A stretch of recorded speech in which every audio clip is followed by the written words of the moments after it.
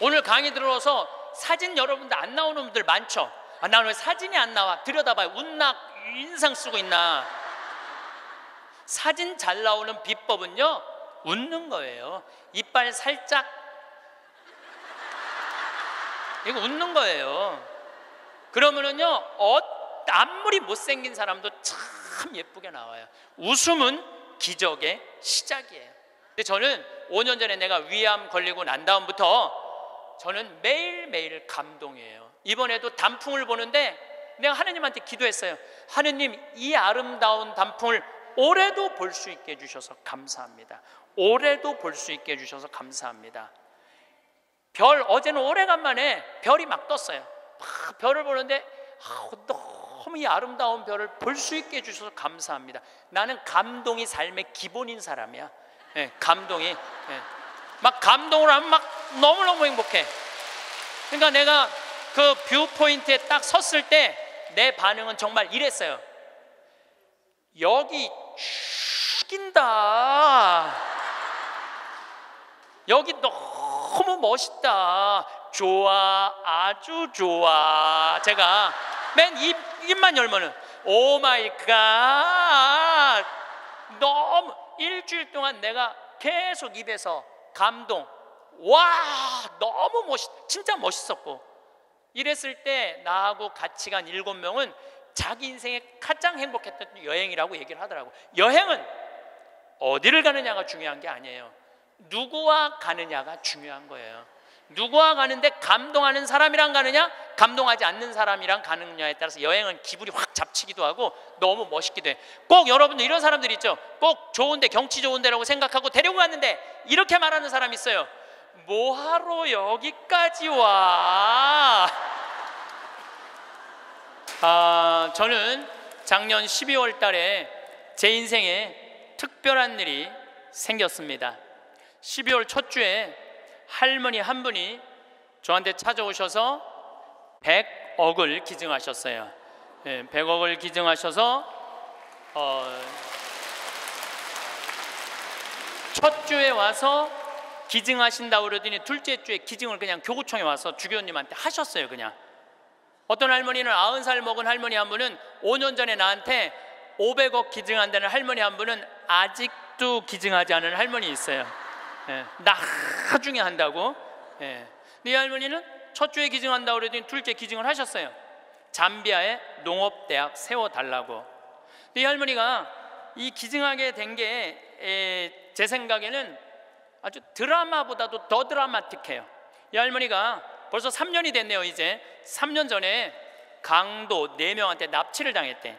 강도 4명한테 납치를 당해갖고 할머니 차에 이 할머니를 꽁꽁 묶어서 여행용 가방에 넣어서 차 트렁크에 넣은 거예요. 그리고 할머니 지갑에서 카드를 다 뺏어갖고 은행마다 다니면서 돈을 빼기 시작한 거예요. 은행마다 다니면서 이틀을 할머니를 끌고 다닌 거예요. 차 트렁크에 넣어놓고 이 할머니는 트렁크에 이틀이 있으면서 나는 죽었다 이렇게 생각했대. 나는 죽었다.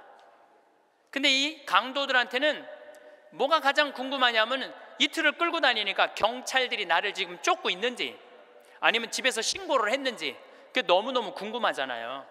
그 라디오를 틀었는데 이 할머니 차인데 AM도 고장 나고 FM도 고장 난 거예요.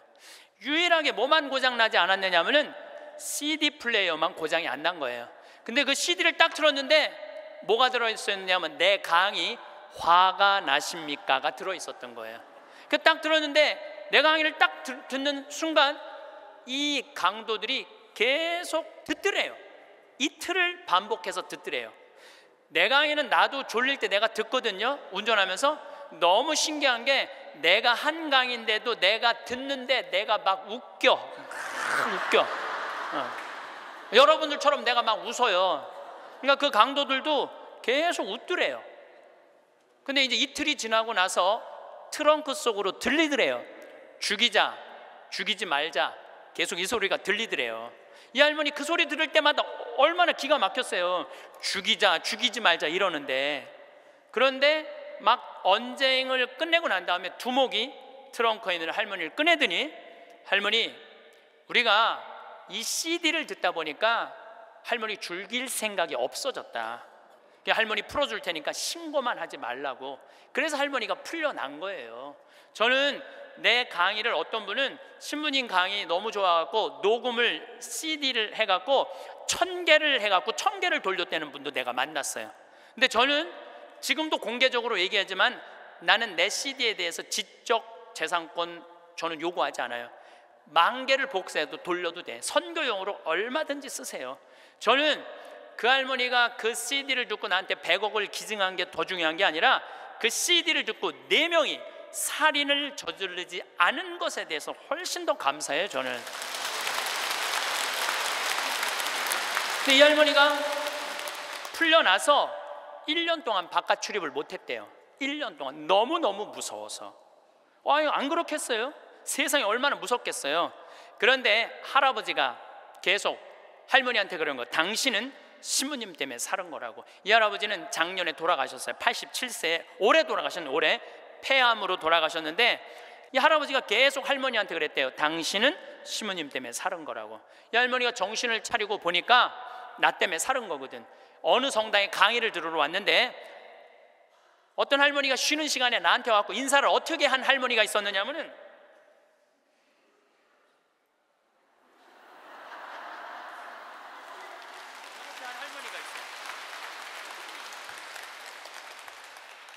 이렇게 인사를 한 할머니가 있어요. 나는 그 할머니가 그때 그 할머니인지 몰랐어요. 그 할머니가. 근데 그날따라 내가 잠비아 얘기를 참 많이 했어요. 잠비아 얘기를. 그러니까 이 할머니가 그 강의를 들으면서 아, 내가 만약에 죽었다면 그때 그 많은 재산이 하늘로 다 없어졌을 텐데 저 신부님 때문에 살아났으니까 저 신부님이 원하는 일을 내가 해드려야 되겠다. 그리고 100억을 할아버지 빌딩 50억, 할머니 빌딩 50억 두 개를 다 해서 정리를 해갖고 교구청에 봉헌을 하신 거예요. 기가 막힌 거죠. 어, 세상에 그런 일이 어디 있어요? 뭐 남들은 뭐 나한테 돈벼락 안 떨어지나 그러면 로또 한 번 맞는데 20억이랬는데 나는 다섯 번이나 맞은 사람 로또를 예. 물론 내 주머니에 들어오는 건 아니지만은 그러니까 숙제가 생겼잖아요. 숙제가 어, 나는 느닷없이 그냥 할머니가 와갖고 잠비아에 농업대학 세우를 난 농업대학 세워볼까 그랬지 세우려고는 안 그랬거든요. 예, 세우려고는 안 그랬어요. 하고 나중에 거기다 농업대학 세워볼까 이런 생각은 있었어요. 그럼 어떻게 할머니한테 내가 말씀드렸어요. 할머니 귀양 농업대학 세울 거라면 거기 가셔서 어디다가 세울지는 구경을 하고 와야 되지 않겠느냐. 내가 할머니한테 그랬어요. 그래서 잠비아에 이번 1월 달에 비행기 27시간을 타고 82살 된 할머니 손을 붙잡고 이번에 잠비아에 다녀왔어요. 예. 네, 여러분들 잠비아가 얼마나 큰 나라냐면 우리나라 남한보다 일곱 배 반이 커요. 일곱 배 반이. 그리고 전체가 평지야. 전체가 평지고 전체가 숲이야, 숲. 그러니까 우리는 아프리카 그러면 막, 막 사막, 그 다음에 막 먼지, 거기는 그런 거 하나 없어요. 그냥 숲만 정리해서 씨만 뿌리면 농장이 되는 데예요. 얼마나 비옥한지 몰라요. 얼마나 비옥한지. 누가 비가 안 오신데 내가 할머니 모시고 간 보름 내내 비가 왔구만. 그러니까 안 가보고는 모르는 거 사람이. 안 가보고는. 그러니까 가서 봐야 돼. 가서. 그러니까 예수님이 오죽 답답했으면 제자들이 저분이 진짜 맞아? 저분이 뭐, 뭐 하느님의 어린 양이야? 뭐 어쩌고 저쩌고 그러니까 예수님 뭐라 그래요? 와서 보시오. 유식한 말로 come and see 그러잖아요. 와서 보시오.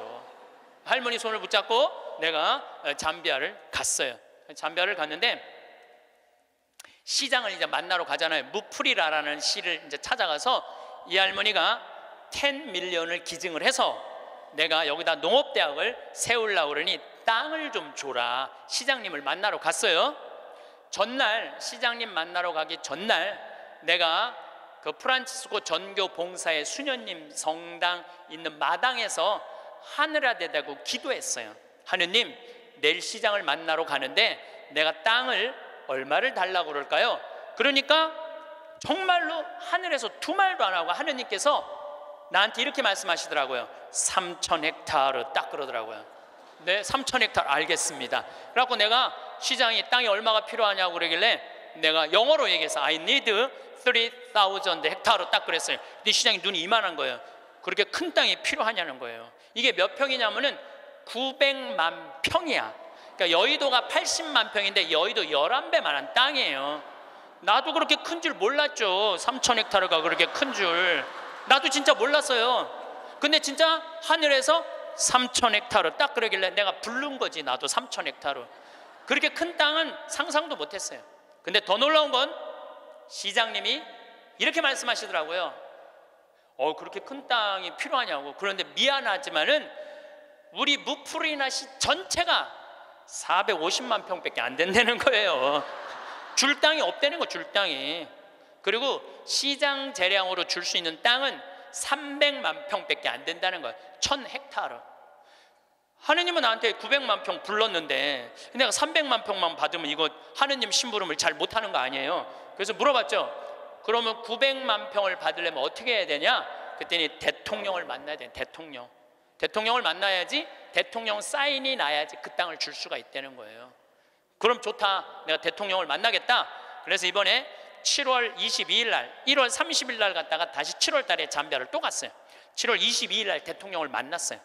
대통령을 만났는데 7월 22일은 참 특별한 날이에요. 내 생일날이에요. 생일날. 내 음력 생일, 음력 생일날인데 7월 20일 날 만났는데 10시에 대통령을 만나기로 했는데 12시까지 대통령을 못, 못 만났어요.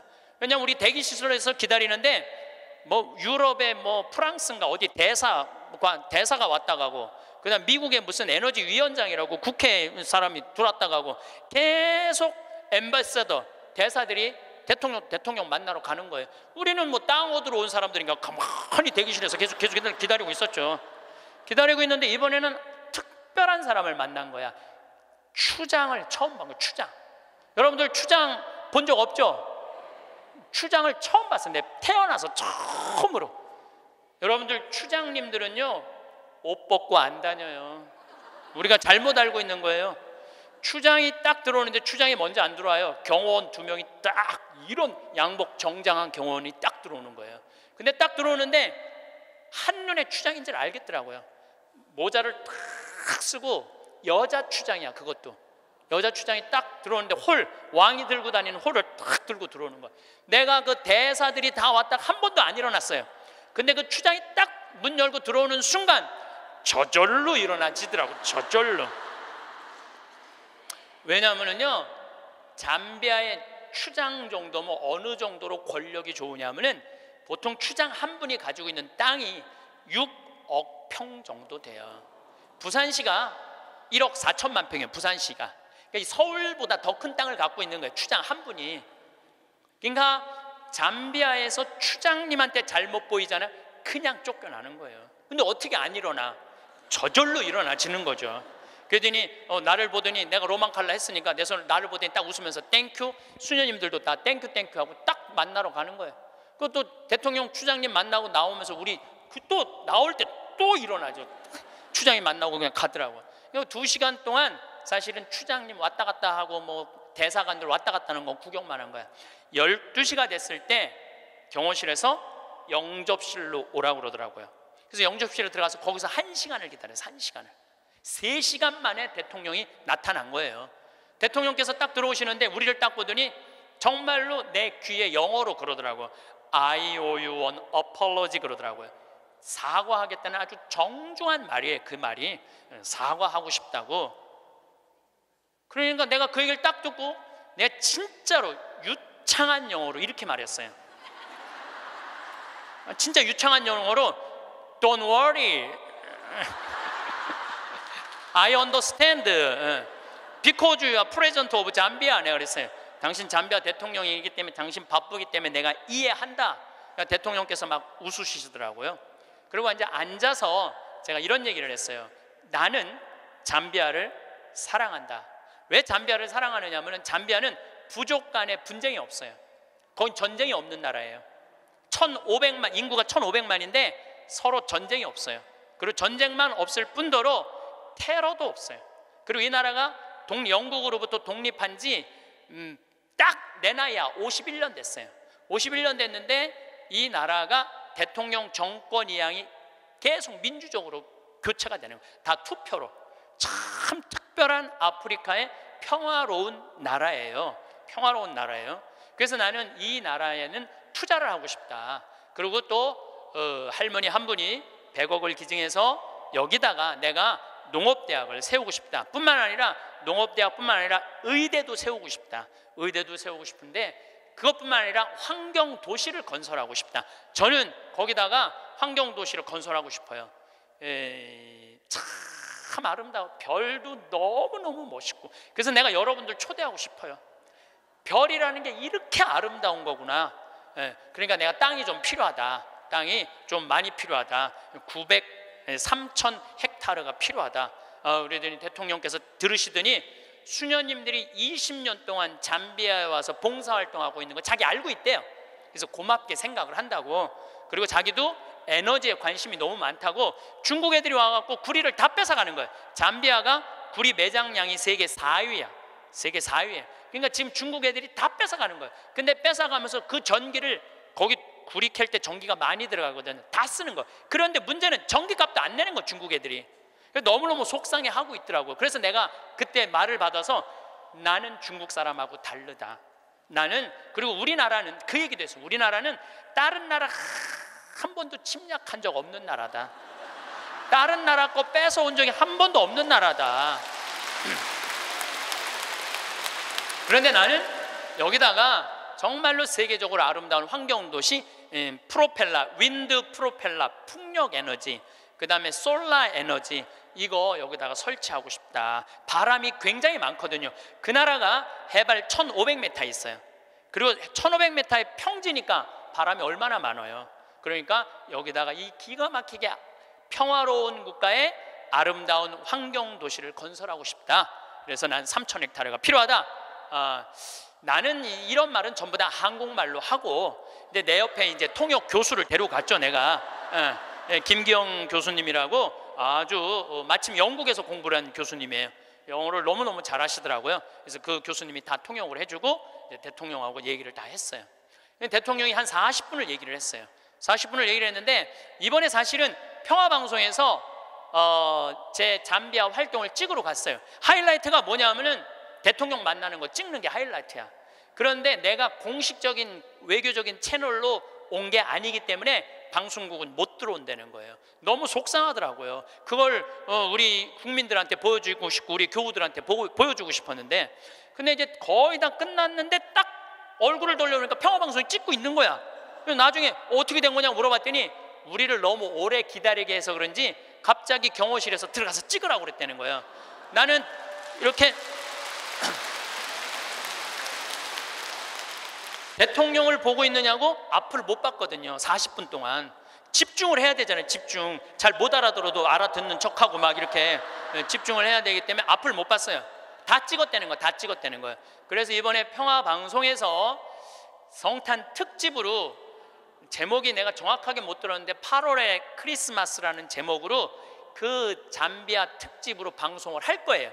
여러분 한번 보세요. 꼭 보세요. 그리고 이제 어, 대통령께서 다 얘기가 끝나고 미안했는지 사진 찍자고 그러더라고요. 그래서 내가 딱 일어났는데 아 대통령 난 벌써 일어나는 거 끝났는데 대통령은 계속 일어나는 거야. 키 가 보니까 2m야 2m 대통령이 키가 그래서 제가 진짜 이랬어요 이렇게 고개를 들고 진짜 또 유창한 영어로 이렇게 얘기했어요. too tall 내가 그래서 too tall 음, 사진을 찍으려고 그러니까 내가 너무 키가 작으니까 안 되겠어. 그래서 내가 영어로 얘기했어요. I need lift lift 올리겠다. My heel 뒤꿈치를 올리겠다. 내가 그러니까 대통령이 박장대소를 하시는 거예요 그래갖고 대통령이 한 우리 간 직원들 이제 우리 수녀님들 다 뭐 열 분하고 사진. 어 우리 저 저기 평화 방송 스탭들하고도 다 찍어 주셨어요. 너무 너무 즐거우셨나 봐요. 그래갖고 이제 뭐 근데 이제 그 땅을 받으려면 2년을 기다려야 된대요. 왜냐하면 땅이 크기가 얼마냐 분당 신도시 두 배만 한 거니까 우리도 신도시 하나 개발하려고 그러면 하루아침에 결정이 안 되잖아요. 그러니까 2년은 기다려야 된다고 그리고 대통령께서도 강요 회의를 통해서 음, 나중에 땅을 음, 드릴 수 있으면 회의로 결정되면 드리겠다고 그렇게 얘기를 했어요. 근데 내가 이제 마지막에 대통령을 정말로 많이 웃겼거든요. 나는 하느님한테 받은 특별한 은사 중에 하나가 누구도 웃길 수 있는 은사를 받았어요. 누구도 웃길 수 있는 은사를 받았어요. 그리고 나는 끝나고 사실은 대통령 만나고 눕고 이러고 저러는 바람에 새벽에 갔다가 밤 12시 와갖고 생일 밥도 못 먹었어요. 그리고 다음날 강의는 LA, 아프리카에서 LA 성령대 강의가 있는데 그런저런 이유로 비행기를 놓쳤어요. 2,500명이 기다리고 있는데 LA에서 지금 나를 그러니까 전 세계 비행기를 뒤져 보니까 원래 싱가포르로 해서 LA로 이제 가는 비행기를 끊어놨는데 그걸 놓쳤으니 가, 가, 가긴 가야 될 거 아니야. 지금 2,500명이 날 기다리고 있는데 그래 뒤져 보니까 남아프리카 공화국 요한네스 버그에서 암스텔담 유럽 맨 끝에 네덜란드 암스텔담에서 거기서 또 완전 끝으로 LA로 가는 비행기가 있더라고. 엄청 비싼 비행기 표가 그걸 끊어서 하루 종일 걸쳐서 암스텔담에 도착을 했어요. 암스텔담에 도착을 해갖고 핸드폰을 딱 열어보니까 수녀님이 메시지를 보냈어. 신부님 기적이 일어났다는 거예요. 무슨 기적인가 했더니 다음날 하루가 지난 거니까 다음날 대통령께서 직접 국토부 장관한테 직접 전화했대. 직접 전화해갖고 어제 한국에서 오신 신부님 원하는 땅 3천 헥타르 장관이 책임지고 다 드리라고 그랬다는 거예요.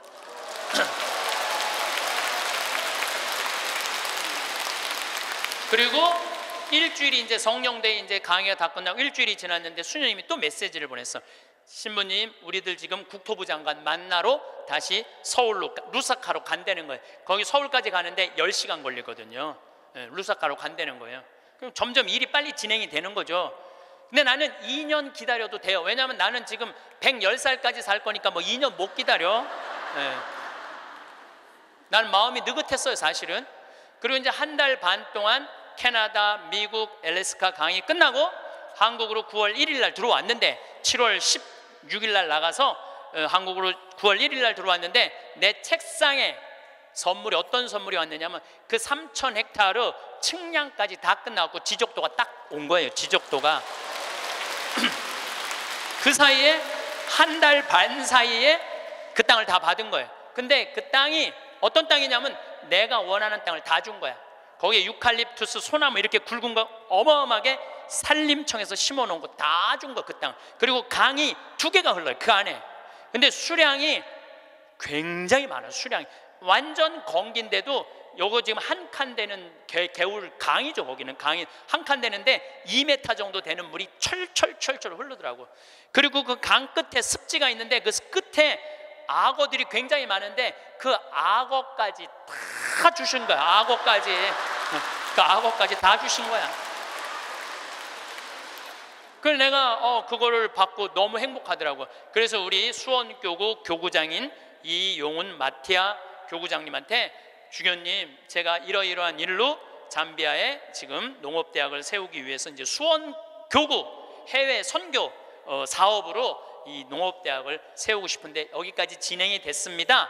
그랬더니 우리 교구장 주교님이 그 말을 들으시더니 아이고 우리 황 신부님은 그거 하려고 그러면은 150살까지는 살아야 되겠다고 40년을 연장을 시켜 주시더라고요.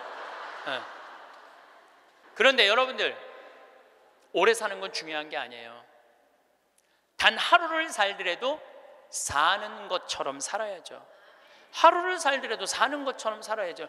여러분들 80살서부터 90살까지 10년 동안 뒷방에서 이러고 살면은 그 10년이 의미가 있어요, 없어요? 의미가 없어요. 삶은요, 재미도 있고 의미도 있어야 돼요. 뒷방에 앉아갖고 재미도 없고 의미도 없으면 그건 의미가 없는 거예요. 그래서 사는 것처럼 살아라. 귀양 살라 그러면은 달걀 중에 유정란이 있고 무정란이 있어요. 똑같은 달걀인데 어떤 달걀은 뿅아리를 까고 어떤 달걀은 뿅아리를 못 까요. 참 그거 구분하기 어렵대요. 유정란인지 무정란인지 똑같은 달걀인데 근데 사람도요 유정란이 있고요 무정란이 있어요. 똑같이 인생을 사는데 이 사람은 무정란이야. 생명이 없는 사람이 있어. 매일 죽는다는 소리 입에 그냥 달고 다니는 사람이 있어요. 근데 어떤 사람은 유정란이 있어. 난 너무 행복해. 난 너무 감사해. 나 사는 게 너무 즐거워. 이 사람들은 유정란, 유정란. 유정란하고 무정란 구분 법을 알려드릴게요. 첫 번째, 저 사람이 유정란인지 무정란인지 구분하는 첫 번째 방법은 뭐냐면 이 사람이 웃느냐 웃지 않느냐에 따라서 유정란이냐 무정란이 구분돼요. 여러분들 하루 종일 같은 모임에 다니는 친구들이 있어. 같이 밥도 먹고 여기 뭐 만나러도 가고 여기저기 구경도 다녀. 근데 다 웃는데 딱 한 사람만 남들이 웃어도 이런 사람 있어요 없어요? 꼭 있어요. 그 사람은 무정란이에요.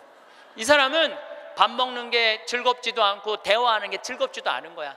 그 사람이 웃긴 말 해도 하나도 귀에 안 들어와. 그 사람 왜 안 웃는지 알아요? 상대방을 무시하려고 안 웃는 게 아니에요. 이 사람이 왜 안 웃느냐면은 이 사람 머릿속은 이런 생각밖에 없어. 남편하고 이혼을 해봐라. 조이팔한테 1억을 투자했는데 그거 어떻게 찾아? 이러니까 웃을 수가 없는 거예요. 아들이 하나 있는데 새벽 4시까지 게임을 하고 낮 5시에 일어나. 이런 사람은 웃을 수가 없는 거예요. 이 사람은 뭐가 가득한 사람이냐면 근심 걱정이 가득한 사람이에요. 근심 걱정이 가득한 사람은 웃을 수가 없어요. 근데 여러분들 여러분들이 근심한다고 단 하루라도 생명을 연장할 수 있어요? 걱정하지 말라고 예수님이 마태복음 6장에 말하잖아요. 걱 정하지 말아라. 너희들은 오늘 일은 오늘로 족하다. 무엇을 먹을까? 무엇을 마실까? 무엇을 입을까? 걱정하지 마세요. 그러니까 여러분들은 걱정하지 말고 그냥 웃고 사세요. 웃음은 기적의 시작입니다. 저는 예, 차쿠아 룽가 대통령께서 마지막에 박수를 치고 웃는 모습을 보고 저분이 나 땅 주겠구나 그런 생각이 들었어요. 왜냐하면요 웃음은 기적의 시작이에요. 웃음은 기적의 시작. 또 여러분들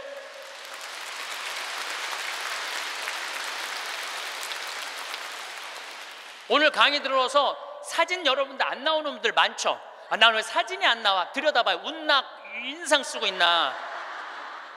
사진 잘 나오는 비법은요, 웃는 거예요. 이빨 살짝. 이거 웃는 거예요. 그러면은요, 어, 아무리 못생긴 사람도 참 예쁘게 나와요. 웃음은 기적의 시작이에요. 그 저런 사람은 유정란으로 살 수 있어요. 유정란, 무정란 두 번째 구분법은 뭐냐면은 감동하느냐, 감동하지 않느냐예요. 여러분들 어떤 사람도 보면 뭐 맛있는 거 막, 아우 맛있다, 정말 맛있다, 막 이렇게 좋아하는 사람 있죠. 뭐 신난다, 뭐, 뭐 공연을 봐도 너무 멋있다 이런 사람 있죠. 그런 사람이랑 같이 다니면 다닐만 해요. 네. 저는 이번에 미국 어, 강의 중에 유타라는 곳을 여행을 했어요. 일주일 동안. 유타는 뭐냐면 여러분들 서부 영화 보면 막 쫙 빨간 그 돌산이 막 하늘 높이 서 있고 그런 거 있죠. 거기에 브라이스 캐년, 그랜드 캐년, 델리킷 아치 뭐 어, 이런 캐년랜드 어, 이런 데가 있는 지역이에요. 미국에서도 가장 인기 있는 관광지예요. 거기를 일주일 동안 여행을 했는데 나 여행을 인도한 사람이 74살 먹은 마틸다라는 친구예요. 저는 여러 차례 말씀드리지만 나는 87살까지는 친구예요. 87살까지는 친구예요. 예. 근데 74살 먹은 마틸다라는 이 친구인데 4년 전에 내가 미국 강의 갔을 때 요세미티라는 공원을 나를 하루 1박 2일을 데리고 왔는데 내가 너무너무 행복해 하니까 이번에 강의 온다니까 준비를 한 거야. 나 보여주려고 3,000km가 되는 데를 세 번을 답사를 한 거예요. 3,000개, 74살 먹은. 근데 이분은 부자가 아니야. 세탁소 하는 분이에요. 근데 정말 내 강의대로 사는 분이야. 돈만 생기면 여행을 가는 거예요. 나중에 안 가고 이분은 생각만 나면 지금 가는 분이야. 지금 얼마나 즐겁게 사는지 몰라. 정말로 뭐 모아놓은 이런 생각 없어. 그냥 쓰는 거야. 그냥 쓰다 죽자. 쓰죽회 회장이야. 그냥 쓰다 죽자. 그냥 쓰다 죽자. 3,000km를 그세 번을 답사를 한 거예요. 여덟 명이 같이 여행을 갔는데 이분은 이미 다 구경했기 때문에 더 이상 볼 게 없는 분이에요. 딱 view point, 제일 경치 좋은 자리 가서 이분은 경치를 안 보고 나를 보더라고요. 과연 내가 감동할 것이냐, 감동하지 않을 것이냐. 근데 저는 5년 전에 내가 위암 걸리고 난 다음부터 저는 매일매일 감동이에요. 이번에도 단풍을 보는데 내가 하느님한테 기도했어요.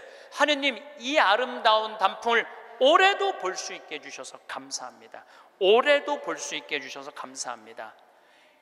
별, 어제는 오래간만에 별이 막 떴어요. 막 별을 보는데 아, 너무 이 아름다운 별을 볼 수 있게 해주셔서 감사합니다. 나는 감동이 삶의 기본인 사람이야. 네, 감동이. 네. 막 감동을 하면 막 너무너무 행복해. 그러니까 내가 그 view point에 딱 섰을 때 내 반응은 정말 이랬어요. 여기 죽인다. 여기 너무 멋있다. 좋아, 아주 좋아. 제가 맨 입, 입만 열면은 oh my god. 너무 일주일 동안 내가 계속 입에서 감동. 와, 너무 멋있, 진짜 멋있었고. 이랬을 때 나하고 같이 간 일곱 명은 자기 인생에 가장 행복했던 여행이라고 얘기를 하더라고. 여행은 어디를 가느냐가 중요한 게 아니에요. 누구와 가느냐가 중요한 거예요. 누구와 가는데 감동하는 사람이랑 가느냐, 감동하지 않는 사람이랑 가느냐에 따라서 여행은 기분이 확 잡치기도 하고 너무 멋있기도 해. 꼭 여러분들 이런 사람들 있죠. 꼭 좋은데 경치 좋은데라고 생각하고 데리고 갔는데 이렇게 말하는 사람 있어요. 뭐하러 여기까지 와? 있어요, 없어요? 꼭 있어요. 만약에 내가 그 델리킷 아치에서 이렇게 말했다면 그분은 다리에 힘이 쭉 빠졌을 거예요. 에이, 여기 뭐 우리나라 설악산 울산바위만 못하네. 이러면은요, 상대방 무릎 꺾, 꺾는 것보다도 더 나쁜 일을 하고 있는 거예요. 사람은요, 감동을 할 줄 알아야지 이 사람이 멋있는 사람이에요. 그게 유정란이야. 유정란.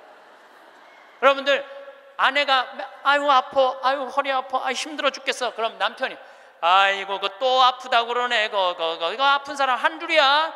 좀 제발 좀 끙끙 소리 좀 하지 마. 그럼 정말로 신경질이 나요. 그 아이고 아파, 아이고 어떻게 해줄까? 얼마나 애 낳느냐고 힘들어갖고 이렇게 아프고 아, 정말 내가 죽일 놈이지. 아, 살림하느냐고 힘들고 얼마나 아플까? 이거는요 위로가 돼요. 예. 아프다. 나도 옛날에 다 아파봤어. 뭐 이런 사람 완전히 고춧가루 뿌리는 사람이에요. 유정란, 무정란은요 감동하느냐, 감동하지 않느냐에 따라서 결정이 되는 것. 또 유정란, 무정란은 감사하느냐, 감사하지 않느냐에 따라서 유정란, 무정란은 결정적으로 구분 지어져요. 남편이 김치찌개 딱 먹고 여보 이렇게 맛있는 김치찌개 먹을 수 있는 건 대한민국에서 나 하나밖에 없을 거야. 당신 어쩜 이렇게 김치찌개를 맛있게 끓여? 이거는 김치찌개가 아니야. 이건 예술 작품이야. 당신 혹시 여기다가 약 탔어? 이러면은요, 아내는요, 음식하는 게요, 예술 작품을 만드는 기분으로 만들 수 있어요. 근데 남편이 딱 김치찌개 먹고, 야, 30년 동안 끓이는 김치찌개 이것밖에 못 끓이냐? 김 있어? 김? 김 재놓은 거? 콩, 간장, 그 콩, 콩, 콩, 콩 갖고 와, 콩. 이러면은요, 아내는 그 김치찌개에다가 독 타고 싶어, 독. 제가 이번에 애리조나에 갔는데 꼭 애리조나에 한 할아버지가 나 식사 대접을 하고 싶다는 거예요. 근데 어느 정도로 부자냐면 애리조나에서 최고로 돈을 많이 버는 분이래요. 애리조나 밑100이 나고도 절대 뒤지지 않는 부자래요. 집이 4천 평 있어요. 집이 4천 평. 수영장도 있고 뭐 하여튼 들어가 보니까 대골 같더라고요. 그래갖고 뭐뭐 뭐꼭 만나고 싶다 그러니까 그것도 안내하는 분들이 꼭 가자고 그러니까 본당 신부님이 가자고 그러니까 본당 신부님이 해제하는 대로 해야죠. 갔는데 주인이 딱 나왔는데 앞치마를 딱 두르고 나온 거야 할아버지가 나는 어마어마하게 부자라 그래서 촥 럭셔리하게 하고 나올 줄 알았더니 앞치마를 딱 두르고 나온 거예요. 그래서 아니 이렇게 부자라는데 이 앞치마가 어울리지 않는다 그랬더니 이분이 나한테 그러는 거야. 안토니오라는 분인데 이분이 나한테 신부님 날 이렇게 만들었다는 거예요. 무슨 소리냐? 자기는 평생 살면서 컵을 여기서 여기도 옮겨본 적이 없대요. 부인을 종부리 부르대요. 얘 자아 실현 좀 해드릴게요. 부인을 종부리 부렸대요. 근데 미국은 먼 거리를 다니기 때문에 CD를 많이 듣고 다녀요. 그래서 내 CD를 누가 고소 준 거예요. 근데 그 CD 안에 무슨 내용이 들어있느냐면은 남자들 30년 동안 밥을 얻어 먹었으면 양심이 있으면 설거지는 좀 해라. 어. 한 30년 동안 밥 얻어 먹고 설거지도 안 하는 게 그게 사람이냐? 그런 얘기를 했어요. 그런데 어떤 형제가 그 얘기를 듣고 자기는 20년 동안 결혼 생활하면서 한 번도 설거지할 생각을 안 했대요. 그 얘기를 듣고 집에 가서 설거지를 한 거야. 근데 아내가 밥 먹다가 갑자기 끝나고 난 다음에 남편이 설거지하러 가니까 아내가 그래도 당신 미쳤냐고 왜 안 했던 짓을 하냐고 근데 내가 그런 소리 들어도 하라고 그랬어요 그때 강의 때 예, 아내가 그러더래 두번 설거지하게 하지 말고 그냥 미사해설이나 가라고 그러더래요 아내가 근데 그 형제는 설거지를 하고 미사해설을 간 거야 그랬는데 미사해설 하기 전에 아내가 메시지를 보냈어 여보 나는 당신이 한 설거지를 다시 하고 있어 하지만 나는 20년 결혼 생활 하는 동안 오늘처럼 행복한 적은 없어. 당신이 내 일을 덜어주기 위해서 설거지를 한 그 자체로 난 너무너무 행복해. 그 메시지를 저한테 보냈어요, 형제님이. 시모님 너무 감사하다고. 그 얘기를 들으니까 그 돈 많은 회장님이 컵을 여기서도 여기 옮기지 않았던 분이 굉장히 마음이 처음으로 충격을 받았대요. 아내인데 종처럼 부린 자기가 너무 미안하더래. 그래서 그날 설거지를 했대요. 어. 아내가 남편이 미쳤는 줄 알았대. 근데 아내가 그 설거지를 끝냈는데 너무너무 행복해 하더래요. 아내가 너무 행복한 모습을 보니까 청소기를 잡게 되더래요. 청소기를. 그래서 자기 부부는 3년 전부터 그 형제님이 저한테 참 인상적인 얘기를 했어요. 신부님, 내가 어, 호텔도 가지고 있고 백화점도 갖고 있고 땅도 40만 평이나 있고 정말로 미국의 1%만 사는 집에서 살고 있는데 그게 하나도 행복에 도움이 안 되더라는 거예요. 진정으로 행복한 건 내 안에 웃음 속에서 내 행복이 들어있더라는 거예요. 내 안에 웃음 속에 내 행복이 들어있더라는 거예요. 자기는 이제 이렇게 행복할 수가 없다는 거예요. 사람이요 감사하기 시작하면 행복하게. 그런 사람들은 유정란으로 사는 거예요. 유정란으로. 그래서 저는 유정란으로 여러분들이 살길 바래요. 근데 진짜 유정란은 뭐냐? 나눌 줄 아는 사람이에요. 나눌 줄 아는 사람. 제가 3년 전에 이제 잠비아 활동 가면서 혼자 가기 멋쩍잖아요. 그래서 이제 세례준 이제 어, 치과 의사한테 야 나하고 같이 이 잠비아 치과가 하나도 없대더라. 가서 어, 봉사활동하자. 며칠 가야 되냐? 그러게 한 10일 가야 된다 그랬더니 어우 신부님 우리 10일이면 좀 부담스럽다고 차라리 한 2천만 원을 봉헌하면 안 되겠냐고 그러길래 내가 이렇게 얘기했어요. 응, 너 2천만 원도 봉헌하고 너도 가야 돼. 예. 그래서 호주에 있는 우리 요한 바오로 치과 의사 어, 계속 나한테 봉사하고 싶다 그러는 어, 의사랑 인천에 있는 세실리아 의사 셋이 갔어요. 거기는 의사가 없으니까요. 어떻게 오느냐면 하루 전날부터 트럭을 타고 오는 거예요. 20명씩. 썩으니 막 아프니 막 이걸 하루 종일 치료를 해주면서 밤에 말씀 나누기라는데 그 의사들이 이런 얘기를 하더라고 신부님 저는 치과 의사 하면서 별로 기뻤던 적이 없다는 거예요 그런데 이번에 이 봉사활동을 하면서 내가 의술 배운 걸 잘했다는 보람을 처음으로 느낀다는 거예요. 그러니까 나누면서 자기 능력에 대한 보람을 느끼는 거예요. 그러니까 작년에 얼마나 자랑을 했는지 작년에는 여섯 명이 따라갔어요. 여섯 명이. 근데 그 여섯 명 중에 정말로 열심한 의사 선생님이 있어요. 나는 사실은 열심한 사람을 좋아하지 않아요. 막 묵주기도 갑자기 50단 하자고 그러고 막 무릎 꿇고 십자가를 하지 이런 사람들 좋아하지 않아요. 근데 하루에 100단씩 한대 그 의사 선생님은 그리고 막 치과에 가보니까 이건 병원인지 성당인지 구분이 안 돼. 성모님, 예수님, 온 치과에 다 있어. 근데 그 의사 선생님이 에이즈 환자 이를 빼다가 그 피 묻은 그 핀셋으로 자기 손가락을 찔러버린 거야.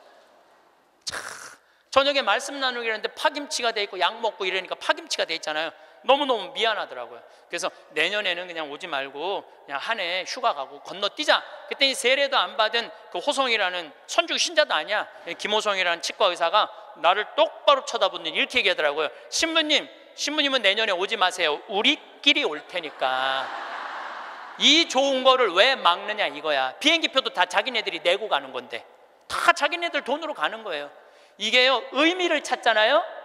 그럼 삶은요, 찬란해지는 거예요. 의미를 찾으면은. 그래갖고 올해는 의사 선생님들이 8명이 갔어. 내년에 데려가 달라는 의사가 4명이야, 4명, 12명. 기적은요, 억지로 만들라고 이루어지는 게 아니에요. 그냥 하느님이 이루어 주시는 거예요. 나눌 때 기적이 일어나는 거예요. 그런데 저는 거기다가 아 이제 농장도 20만 평 이제 꾸며줬어요. 농장도 20만 평 꾸며주고 닭장도 해갖고 천 마리 팔던 거 이제 2천 마리씩 다달이 판대요. 그런데 소를 못 키우겠는 거야. 소를. 저 소만 키우면 이제 거긴 다 이제 내 꿈이 다 이루어지는데. 근데 우리 평창 군수님이 대관령 한우협회 11년 동안 조합장 하다가 군수님이 된 거야. 그분하고 밥 먹을 때마다 이런 생각이 드는 거예요. 저분을 모시고 가면 소 키우는 건 해결될 텐데 군수님을 하고 있으니 모시고 갈 수가 있어야지. 그래갖고 내가 밥 먹을 때마다 속으로 이런 생각을 했어요. 다음 선거에 좀 떨어져라 이런 생각을 했어요. 근데 작년 7월 달에 지방선거를 했는데 파라과이 내가 강의 중에 지방선거 결과 발표하는 날이야. 딱 열어보니까 결과를 보니까 떨어졌어. 그래서 내가 축하한다고 메시지 보냈어요. 축하한다고, 축하한다고. 그리고 이번 할머니 모시고 갈 때 같이 가자고. 모시고 딱 갔는데 내가 옥수수를 4만 평을 심어놨거든요. 그걸 보더니 이 군수님이 그러더라. 신부님 걱정하지 말라는 거예요. 이거 사일리지 하면 된다는 거, 소사료로 만들면 된다는 거예요. 그래서 이거 해달라고 그랬더니 세 번을 가셨어 잠비아를 싹 해갖고 소를 먹이는데 소들이 너무 너무 잘 먹는 거예요. 그걸 하려면은 1억이 드는데 300만 원으로 1억을 만들어낸 거야. 그러니까 능력 있는 사람들이 필요한 거예요. 그래서 이번 여름에 내가 꼭 소를 한 마리씩 잡거든요. 수님한테 소 한 마리 내놓으라고 그러니까 천 달러를 주고 내가 달라고 그러거든요. 안 된다는 거예요. 소를 내가 서른두 마리를 사줬는데 신부님 황소가 한 마리, 암소가 서른두 마리인데 안 된다는 거. 한 마리도 못 내놓는다는 거. 왜 못 내놓냐고 그러니까 서른두 마리 암소가 전부 다 애를 가졌다는 거예요. 애를. 그래서 못 내놓는다는 거예요. 그래서 내년에는 소가 500마리까지 늘릴 수 있다는 거예요. 1000마리까지 키울 수 있는 1000마리까지. 근데 이 군수님이 저한테 이런 얘기해요. 신부님 너무 감사하다는 거예요. 뭐가 감사하냐 그러니까 보통 우리 선거 떨어지면은 아들은 감옥에 가고 부인은 이혼하자고 자기 목맬 생각 한다는 거예요. 그런데 축하 떨어졌을 때 축하한다고 메시지 보낸 건 신부님 하나라는 거예요. 그런데 여기 막상 와서 보니 너무 좋다는 거, 너무 너무 자기 인생의 의미가 생긴다는 거, 좀 너무 너무 신난다는 거예요. 이번에 또 캐나다에 가니까 다니엘이라는 73살 먹은 할아버지가 회사가 세 개나 있어 설계 회사가 당신도 참여하고 싶다고 헬스장에 지금 다닌다는 거예요. 자기는 도시 설계팀이 있어서 신부님 거기 세계 최고의 환경 도시를 세워줄 수 있다는 거야. 이분이 누구냐면 요한 바오르 2세 교황님이 캐나다에 방문했을 때 제대를 설계하신 분이야. 얼마나 능력 있는 분인지 몰라요. 또 한국에는 김원이라는 건축가가 있어요. 독립기념관 세우신 우리 이제 은퇴하셨는데 여기 해화동에 큰 빌딩 있죠. 거기 그분도 은퇴한 설계사님들이 동참하겠다는 거예요. 이게 기적이 일어나는 거 기적이 나눌 때. 그러면은 여러분들은 여러분들은 아 나도 참여하고 싶은데 신부님 나는 안 될까요? 여러분들도 참여했어요. 내가 할 줄 아는 게 뭔데요? 여러분들 할 줄 아는 게 왜 없어요? 내년에 60명 가면은 밥 해줘야 되잖아요. 밥. 근데 이번에 60부터 64살 되신 분 네 분이 따라갔어요. 아줌마들이 애들 밥 해주려고 농장 꾸미는데 이분들이 나한테 한 얘기가 그 얘기예요. 신부님, 내가 60평생을 살면서 이렇게 찬란한 인생이 처음이라는 거예요. 찬란한 인생이. 그래서 여러분들 이제 제발 내 집, 내 자식 그런 이기적인 것에서 벗어나서 정말 유정란의 삶을 살고 싶으면 나누셔야 돼. 이제 이 900만 평의 도시 세우려 그러면요. 여러분들의 재물만 필요한 게 아니에요. 여러분들의 능력이 필요해. 저는 이번에 잠비아에 가고 너무 가슴 아픈 일이 있었어요. 어떤 일이 있었느냐면은 간호대학을 세우다가 수녀님들이 돈이 없어서 멈춘 거야. 그냥 완전 폐허가 된 거야. 너무 가슴이 아프더라고요. 그런데 내가 가만히 보니까 나는 책이 정말 많이 팔리더라고. 사는 맛, 사는 뭐 요즘 또 왜 우리는 통하지 않을까? 또 이번에 이제 촌놈 신부 유럽 여행기 인세가 너무 너무 많은 거야. 그래서 내가 수님한테 전화했어요. 수녀님, 내가 간호대학 세워 주겠다고. 그러니까 내가 인세가 한 2억 정도 있어갖고 그거 다 보내주기로 했어. 그런데도 얼마가 모자라면 3억이 모자라. 그래서 내가 이번에 한 번 더 여러분들의 도움을 청해요. 제가 시간이 없어서 그러는데 작년에 포크레인 산다고 그럴 때 2억만 보내달라 그러는데 우리나라 어, 국민들이 얼마를 보내줬는지 알아요? 10억을 보내줬어요. 10억을. 너무너무 감사하죠. 이게 내 일이 아니야. 하느님 일이지.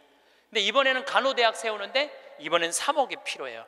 천만 원씩 30명만 동참을 해주시면은 거기다가 내가 간호대학을 너무 멋있게 세울 수 있을 것 같아요. 그리고 이번에 동참하는 분들은 내가 데리고 갈게. 간호대학 다 세우면은 정말로 아 너무너무 아름다운 잠비아 한번 가서 야 내가 이렇게 의미 있는 일을 지금 하고 있구나. 저는 여러분들 무정란으로 살지 않았으면 좋겠어요. 유정란으로 살았으면 좋겠어요. 오늘도 황창현 신부님의 행복 특강 잘 들으셨나요? 이어서 나이 들수록 들으면 도움이 되는 지혜의 말씀을 들려드리겠습니다. 인생의 고민 절반 이상이 결국은 인간관계입니다. 어쩌면 95% 이상일 수도 있습니다. 우리는 왜 인간관계를 맺고 살아갈까요? 행복하기 위해서입니다. 더 자유롭고 더 행복하기 위해서 사람 사이의 관계를 맺고 사는데 행복은 커녕 도리어 불행의 근원이 됩니다. 결국 우리의 인생이 괴로울 수밖에 없는 이유는 잘못된 인간관계 때문입니다. 왜 어떤 사람은 인간관계를 쉽게 하고 어떤 사람은 어려울까요? 바로 사람의 마음에도 마음이 작용하는 원리가 있습니다. 인간관계의 법칙이 있습니다. 같은 일을 겪더라도 어떤 이에게는 괴로움이 되고 어떤 이에게는 즐거움이 되고 또 어떤 이에게는 슬픔이 됩니다. 인생사 온갖 괴로움이 생깁니다. 어떤 이는 좌절하고 다시는 지금까지 못합니다. 어떤 이는 이를 발판으로 삼고 성공 신화를 이룹니다. 괴로움에서 벗어나느냐 마느냐는 본인의 깨달음에 달렸습니다. 괴로움에서 벗어나는 주체자는 본인입니다. 누구에게 의지하지 않고 오롯이 본인만이 스스로를 구할 수 있습니다. 나에게 괴로움을 주는 원수가 있습니다. 이 원수의 성질이 무엇일까요? 변하지 않는 것입니다. 원수와 관계를 맺을 때 상대를 바꿀 수는 없습니다.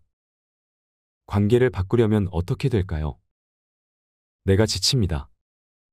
상대는 지치지 않습니다. 내가 힘들고 마음대로 되지 않으니 괴로움 속에 살게 됩니다. 내가 참으라는 윤리적이거나 일반적인 이야기가 아닙니다. 원수의 성질을 이해하라는 것입니다. 원수가 변하지 않는 것을 이해하고 인간 관계를 맺어야 합니다. 원수뿐만 아니라 나를 제외한 모든 사람은 변하지 않는 것을 전제로 합니다. 그러면 원수를 어떻게 대해야 할까요? 네, 알겠습니다. 하고 좋게 넘어가세요. 생각만 해도 가슴이 답답해지시지요. 말만 그렇게 하고 즉각적으로 상황을 넘어가세요. 원수 아니라 부모님, 상사, 친구의 말이라도 내가 다 따를 수 없습니다. 내가 원하는 것이 다 이루어지지 않는 것처럼 남이 나한테 원하는 것도 내가 다 이루어 줄 수 없습니다. 무리해서 내가 감당하지도 못할 책임감을 가지지 않아도 됩니다. 왜 한다고 해놓고 안 했느냐? 타박하면 죄송합니다. 하고 또 넘어가면 됩니다. 지금 당장 상황을 결론 내고 해결하지 않아도 됩니다. 겉으로만 번지르하게 말로 모면하라는 뜻이 아닙니다.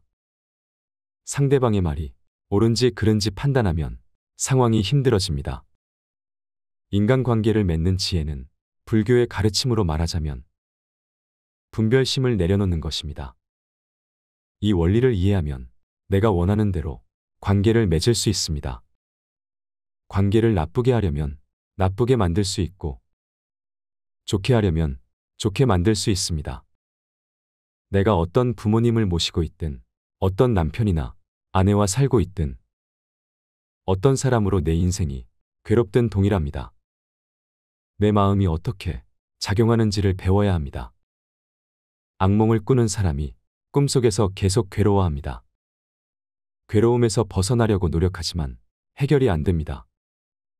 다만 내가 잠에서 깨고 눈을 뜨면 그 괴로움은 흔적도 없이 사라집니다. 앞이 보이지 않는 사람이 눈을 감고 세상이 어둡다고 불쾌해합니다. 아무리 불을 켜도 더 이상 밝아지지 않는다고 불평불만합니다. 이것은 자신이 눈을 감고 있기 때문입니다. 스스로 눈을 떠야 합니다. 그것이 깨달음입니다. 눈을 뜨고 무지를 깨우치면 세상은 원래 밝은 것이라는 걸 알게 됩니다. 이 방법을 모르면 종교를 믿든 사주팔자를 보든 전생을 믿든 무엇을 하든지 간에 고통에서 벗어날 수가 없습니다. 내가 좋게 관계를 맺으려 해도 결과가 나쁩니다. 그러면 억울합니다. 하늘을 원망하고 전생을 탓하고 팔자 타령을 하게 됩니다. 부처님의 말씀은 있는 그대로 받아들이라는 것입니다. 자연이면 자연의 성질, 생명이면 생존의 원리, 마음이면 마음의 작용 원리를 이해하라는 것입니다. 행동을 규정하는 윤리도덕이 아닙니다. 스스로의 마음을 움직이는 원리를 배우는 것입니다. 남을 못마땅해 하지도 말고 고치려고도 하지 마세요. 내가 나를 바꾸려고 해도 잘 안 되는데 남을 어떻게 바꾸겠습니까? 다만 내가 보기에 못마땅해서가 아니라 그 사람을 위하는 마음으로 고치도록 권하는 것은 괜찮습니다. 다만 쉽게 고쳐지지 않을 것임을 미리 알고 시작해야 합니다. 한두 번 지적했는데도 상대방의 행동이 고쳐지지 않으면 불쾌합니다. 상대방을 생각해서 충고해 주었는데 무시당한다고 느끼고 기분이 나쁩니다. 이런 생각이 들 때는 그 사람이 아니라 나를 점검해 봐야 합니다. 내가 원하는 답을 상대에게 정해놓고 요구하지 마세요. 정말로 그 사람을 위하려는 마음에서 충고를 했는지, 혹시 내 마음에 들지 않아서 고치고 싶었던 것은 아닌지, 금방 고쳐질 것이라는 기대를 버리고 조언하면 상대방이 달라지지 않더라도 내가 기분 상할 일이 없습니다. 쉽게 안 고쳐진다는 것을 미리 알았기 때문에 오랜 시간 도와줄 수 있습니다. 상대방이 내 말을 듣지 않는다고 스트레스를 받으면 안 됩니다. 내가 아는 사실을 상대에게 알려줄 수는 있지만 그 이야기를 듣고 판단하는 것은 그 사람의 몫입니다. 그런데 대부분은 상대의 행동이 바뀌지 않으면 저 인간이 아직도 정신을 못 차렸네 생각하면서 화를 냅니다. 이때 괴로워지는 것은 내 자신일 뿐입니다. 상대방이 내 충고를 받아들이지 않아서 짜증이 밀려올 때는 먼저 내 마음을 고요히 지켜보십시오.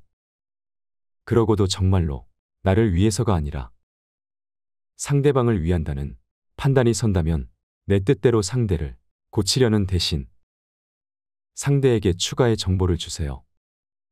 결정은 당사자가 하도록 또 지켜봐 주어야 합니다.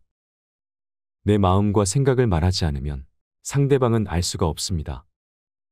처음에는 본인의 화를 꼭 참습니다. 그것을 참다 참다 말을 하니까 말을 할 때는 신경질적으로 할 수밖에 없습니다. 그러면 상대방은 말투를 보고 더 화를 냅니다. 한번 생각해 보세요. 내가 두 번, 세 번 망설이면서 스트레스 받는 과정을 상대방은 모릅니다. 이 스트레스는 자기 내면 속에서 내가 스스로 만들어내는 것입니다. 내 생각을 표현하는 것은 자유입니다. 그런데 상대방이 자기 생각을 표현하는 것 또한 자유입니다. 이것을 인정한다면 대화할 때 망설일 이유가 없습니다. 대화를 너무 진지하게 할 필요가 없습니다. 가볍게 웃으면서 이야기하면 됩니다. 내가 두 번 물어보고 싶으면 두 번 물어보세요. 두 번 다 거절당할 수도 있습니다. 서로의 자유와 의견을 존중하세요. 사람들과 어울리지 못하는 본인을 탓할 필요는 없습니다. 지나치게 고치려고 노력하지 마세요. 충분히 노력해서 안 되면 더 이상 노력하지 마세요. 다만 본인 의사표현은 해야 합니다. 사람들은 살아온 환경이 서로 다릅니다. 그렇기 때문에 같은 말을 해도 그 말이 서로에게 들리는 방식이 다릅니다. 오히려 남과는 대화를 정확하게 하는데 가까운 사이에는 대충 해놓고 상대방이 다 알아들었을 것이라고 착각합니다. 그리고 내가 원하는 대로 일이 풀리지 않으면 말이 안 통한다고 생각합니다. 말이 안 통하는 것이 아닙니다. 착각에서 오는 현상입니다. 사람은 대부분 이기적입니다. 누구나 본인에게 이익이 되는 방향으로 관계를 맺으려고 합니다. 누군가와 관계를 맺고 유지할 때 의도적이든 아니든 이기심이 작용합니다. 이기심을 갖고 누군가를 만나는 것 자체가 나쁘다는 것이 아닙니다. 다만 다른 사람들도 마찬가지로 이기심을 가지고 인간관계를 맺는다는 사실을 이해해야 합니다.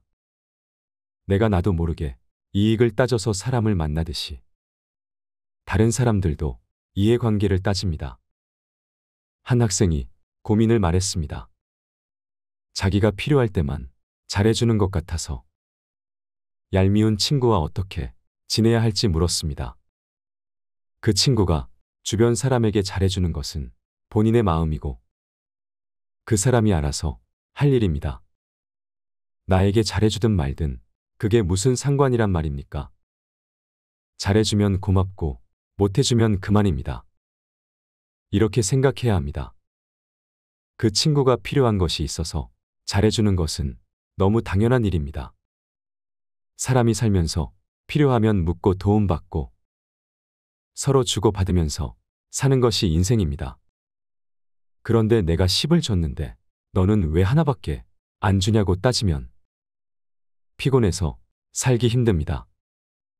부모가 자식에게 100을 주는데 자식이 부모에게는 1도 안 줍니다. 그러면 부모는 괴로워서 어떻게 살까요? 그런데 그 부모 또한 본인 부모에게서 100을 받았습니다. 결국 인생에서 도움을 주고받는 총량은 비슷비슷합니다. 전체를 놓고 보면 나에게 도움을 주지 않는 친구가 있는가 하면 내가 조금 주고 더 많이 받는 경우도 있습니다. 앞으로는 상대가 나에게 친절을 베풀면 고맙습니다 하고 상대가 잘못해주면 그만이다라고 생각해 보십시오. 사람을 사귈 때도 마찬가지입니다. 내가 좋아했는데 상대가 나를 좋아하지 않는다고 해서 미워하면 안 됩니다. 좋아하는 것은 내 마음이고 상대가 나를 좋아하든 안 좋아하든 그것은 상대의 마음이기 때문입니다. 또 나를 좋아하다가 다른 사람을 좋아해도 미워할 필요가 없습니다. 상대의 마음이 그렇게 흘러가는 것을 어떻게 하겠습니까? 그럴 때 미워하지 말고 그래 나는 그동안 너 덕분에 행복했다. 고맙다. 이렇게 생각해야 합니다. 그러면 배신이니 어쩌니 하면서 괴로워하지 않을 수 있습니다. 인간 본래의 심성에는 이타심도 있고 이기심도 있습니다. 위기에 처하면 이타성이 발휘되지만 사람이 늘 이타적일 수는 없습니다. 이타심은 무의식 아래에 있고 이기심은 그보다 위에 위치해 있습니다. 그래서 이기심이 더 쉽게 드러납니다. 인간은 누구나 이기적인 면이 있다는 것을 인정하면 그때는 이기적인 상대를 내가 어느 정도까지 맞춰줄 것인가 하는 나의 문제로 바뀝니다. 이기심을 버릴 필요는 없습니다. 내가 이기적이듯이 상대도 이기적이라는 것을 이해하면 갈등이 크게 줄어듭니다. 우리의 마음은 늘 변합니다. 한 가지 생각이 계속 머물러 있을 것 같지만 이내 사라지고 맙니다. 상대의 마음이 한결같기를 기대하지만 사실 불가능한 일입니다. 이게 마음의 성질입니다. 이런 성질을 이해하지 못한 채 마음이 변하지 않기를 기대하니까 그렇게 되지 않으면 괴로운 것입니다. 행복으로 가는 길은 우리의 마음이 변치 않는 것이 아니라 마음이 바뀔 줄 미리 알고 그 변화를 받아들이는 데에 있습니다. 그래서 좋아도 너무 기뻐 날뛰지 않고 싫어도 너무 슬퍼하지 않고 평온하게 살 수 있습니다. 상대방이 나를 배신하더라도 우리가 할 수 있는 일은 마음은 변하기 마련이라는 사실을 받아들임에 있습니다. 그래도 그 사람과 계속 인연을 이어갈지 말지는 나의 선택입니다. 우리의 마음은 잠깐 머물렀다가 흩어집니다. 정도의 차이가 있을 뿐 누구에게나 같습니다. 마음이라는 것이 시시때때로 바뀌어서 믿을 게 못 되는 것인데 우리에게 괴로움이 생기는 것은 변하는 것을 변하지 않는 것으로 잘 못 알고 있는 데서 시작됩니다. 마음은 매 순간 끊임없이 생겨나고 사라집니다. 그래서 마음의 실체라고 내놓을 만한 것이 어디에도 없습니다. 그런데도 우리는 순간적인 기쁨, 슬픔, 괴로움 등 갖가지 마음을 보고 걱정과 근심합니다. 인생에 너무 많은 의미를 부여하지 마세요. 열심히 할 뿐 결과에 연연해 하지 않는다면 그 과정에서 당신은 이미 행복한 것입니다. 내가 잘났다. 내가 옳다는 생각을 내려놓으세요. 상대방이 내 마음에 들지 않는다고 아쉬워할 게 아니라 다 갖춘 사람은 없구나. 세상은 공평하구나 하고 생각할 수 있어야 합니다. 인생을 편하게 살려면 내가 가진 능력이 100이라고 할 때 남에게는 아무리 많아도 80 정도만 알리는 것이 좋습니다. 문제를 밖에 두면 내 안에서 행복을 찾을 수가 없습니다. 실패를 절망이 아닌 경험으로 받아들이세요. 나쁜 일에는 반드시 배울 점이 있습니다. 성장할 수 있는 기회로 삼으세요. 너무 힘들게 하는 것이 있으면 내려놓으세요. 그러면 자유롭고 행복할 수 있습니다. 무엇이든 인정하면 자유로워집니다. 내일이나 나중이 아닌 지금 바로 이 순간 행복하세요. 조건이 나쁠 때는 좋아지기만을 바라보느라 눈이 멀고 조건이 좋아지면 이제는 그 좋은 결과가 사라질까봐 전전긍긍합니다. 그러느라 한 번도 제대로 된 행복을 느끼지 못한 채 시간만 흘러갑니다. 지금 이 순간에 만족하는 것이 진정한 행복입니다. 나 자신에 대한 부정적인 생각은 거두어야 합니다. 나 자신을 초라하게 여기면 마음이 무거워져서 남을 만나기 힘들어집니다. 마음을 가볍게 가질 필요가 있습니다. 인생의 쓴맛을 알면 인생이 편해집니다. 이때 화를 내면 내 손해입니다. 마음이 허전한 것은 욕심 때문입니다. 굳이 채우려는 생각을 버리세요. 그러면 허전한 마음도 사라집니다. 인생의 정답은 없습니다. 스스로 선택한 대로 사는 것일 뿐입니다. 어떤 삶을 살더라도 당신은 행복할 권리가 있습니다. 그러나 남의 불행 위에 내 행복을 쌓지 마세요. 시기 질투를 이용하는 것은 불행한 사람들이 하는 짓입니다. 원하는 것이 모두 이루어져야 한다는 생각을 버리세요. 실수하면 안 된다고 정해 놓았기 때문에 실수하는 내 모습이 싫은 것입니다. 빨리 많은 것을 이루려고 하지 마세요. 이 생각 때문에 괴로운 것입니다. 이루어지면 좋고 안 이루어져도 그만입니다.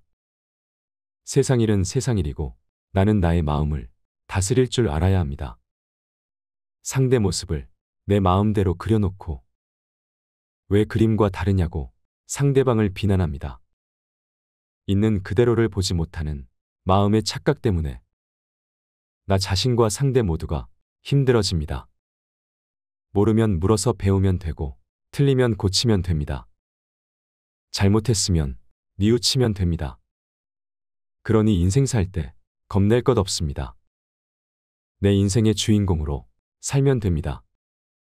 잘 산 인생은 높은 자리에 오르고 부유한 것이 아니라 내일 죽어도 여한이 없는 삶입니다. 주위의 소중한 분들에게도 공유해 주시면 좋을 것 같습니다. 한 번 더 들으시면 가슴에 더욱 새겨질 것입니다. 반복 재생합니다. 아, 저는 작년 12월 달에 제 인생에 특별한 일이 생겼습니다.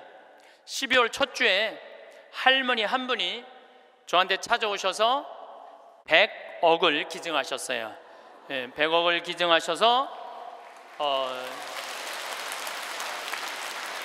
첫 주에 와서 기증하신다 그러더니 둘째 주에 기증을 그냥 교구청에 와서 주교님한테 하셨어요 그냥 어떤 할머니는 아흔 살 먹은 할머니 한 분은 5년 전에 나한테 500억 기증한다는 할머니 한 분은 아직도 기증하지 않은 할머니 있어요 예, 나중에 한다고 예. 이 할머니는 첫 주에 기증한다 그러더니 둘째 기증을 하셨어요 잠비아에 농업대학 세워달라고 이 할머니가 이 기증하게 된 게 제 생각에는 아주 드라마보다도 더 드라마틱해요. 이 할머니가 벌써 3년이 됐네요. 이제 3년 전에 강도 4명한테 납치를 당했대. 강도 4명한테 납치를 당해갖고 할머니 차에 이 할머니를 꽁꽁 묶어서 여행용 가방에 넣어서 차 트렁크에 넣은 거예요. 그리고 할머니 지갑에서 카드를 다 뺏어갖고 은행마다 다니면서 돈을 빼기 시작한 거예요. 은행마다 다니면서 이틀을 할머니를 끌고 다닌 거예요. 차 트렁크에 넣어놓고 이 할머니는 트렁크에 이틀이 있으면서 나는 죽었다 이렇게 생각했대. 나는 죽었다. 근데 이 강도들한테는 뭐가 가장 궁금하냐면 이틀을 끌고 다니니까 경찰들이 나를 지금 쫓고 있는지 아니면 집에서 신고를 했는지 그게 너무너무 궁금하잖아요. 그 라디오를 틀었는데 이 할머니 차인데 AM도 고장 나고 FM도 고장 난 거예요. 유일하게 뭐만 고장 나지 않았느냐면은 CD 플레이어만 고장이 안 난 거예요. 근데 그 CD를 딱 틀었는데 뭐가 들어 있었냐면 내 강의 화가 나십니까가 들어 있었던 거예요. 그 딱 들었는데 내 강의를 딱 듣는 순간 이 강도들이 계속 듣더래요. 이틀을 반복해서 듣더래요. 내 강의는 나도 졸릴 때 내가 듣거든요. 운전하면서. 너무 신기한 게 내가 한 강인데도 내가 듣는데 내가 막 웃겨. 웃겨. 어. 여러분들처럼 내가 막 웃어요. 그러니까 그 강도들도 계속 웃더래요. 근데 이제 이틀이 지나고 나서 트렁크 속으로 들리더래요. 죽이자 죽이지 말자. 계속 이 소리가 들리더래요 이 할머니 그 소리 들을 때마다 얼마나 기가 막혔어요 죽이자 죽이지 말자 이러는데 그런데 막 언쟁을 끝내고 난 다음에 두목이 트렁크에 있는 할머니를 꺼내더니 할머니 우리가 이 CD를 듣다 보니까 할머니 죽일 생각이 없어졌다. 할머니 풀어줄 테니까 신고만 하지 말라고. 그래서 할머니가 풀려난 거예요. 저는 내 강의를 어떤 분은 신부님 강의 너무 좋아갖고 녹음을 CD를 해갖고 천 개를 해갖고 천 개를 돌렸다는 분도 내가 만났어요. 근데 저는 지금도 공개적으로 얘기하지만 나는 내 CD에 대해서 지적 재산권 저는 요구하지 않아요. 만 개를 복사해도 돌려도 돼. 선교용으로 얼마든지 쓰세요. 저는 그 할머니가 그 CD를 듣고 나한테 100억을 기증한 게 더 중요한 게 아니라 그 CD를 듣고 네 명이 살인을 저지르지 않은 것에 대해서 훨씬 더 감사해요. 저는. 근데 이 할머니가 풀려나서 1년 동안 바깥 출입을 못했대요. 1년 동안 너무너무 무서워서. 와, 안 그렇겠어요? 세상이 얼마나 무섭겠어요? 그런데 할아버지가 계속 할머니한테 그런 거, 당신은 신부님 때문에 살은 거라고. 이 할아버지는 작년에 돌아가셨어요. 87세, 올해 돌아가셨는데, 올해 폐암으로 돌아가셨는데, 이 할아버지가 계속 할머니한테 그랬대요. 당신은 신부님 때문에 살은 거라고. 이 할머니가 정신을 차리고 보니까 나 때문에 살은 거거든. 어느 성당에 강의를 들으러 왔는데 어떤 할머니가 쉬는 시간에 나한테 와서 인사를 어떻게 한 할머니가 있었느냐면은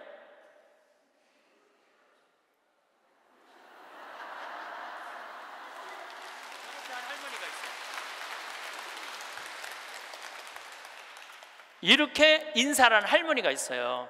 나는 그 할머니가 그때 그 할머니인지 몰랐어요. 그 할머니가. 근데 그날따라 내가 잠비아 얘기를 참 많이 했어요. 잠비아 얘기를. 그러니까 이 할머니가 그 강의를 들으면서 아, 내가 만약에 죽었다면 그때 그 많은 재산이 하늘로 다 없어졌을 텐데 저 신부님 때문에 살아났으니까 저 신부님이 원하는 일을 내가 해드려야 되겠다. 그리고 100억을 할아버지 빌딩 50억, 할머니 빌딩 50억 두 개를 다 해서 정리를 해갖고 교구청에 봉헌을 하신 거예요. 기가 막힌 거죠. 어, 세상에 그런 일이 어디 있어요? 뭐 남들은 뭐 나한테 돈벼락 안 떨어진다 그러면 로또 한 번 맞는데 20억이랬는데 나는 다섯 번이나 맞은 사람 로또를 예. 물론 내 주머니에 들어오는 건 아니지만은 그러니까 숙제가 생겼잖아요. 숙제가 어, 나는 느닷없이 그냥 할머니가 와갖고 잠비아에 농업대학 세우를 난 농업대학 세워볼까 그랬지 세우려고는 안 그랬거든요. 예, 세우려고는 안 그랬어요. 하고 나중에 거기다 농업대학 세워볼까 이런 생각은 있었어요. 그럼 어떻게 할머니한테 내가 말씀드렸어요. 할머니 귀양 농업대학 세울 거라면 거기 가셔서 어디다가 세울지는 구경을 하고 와야 되지 않겠느냐. 내가 할머니한테 그랬어요.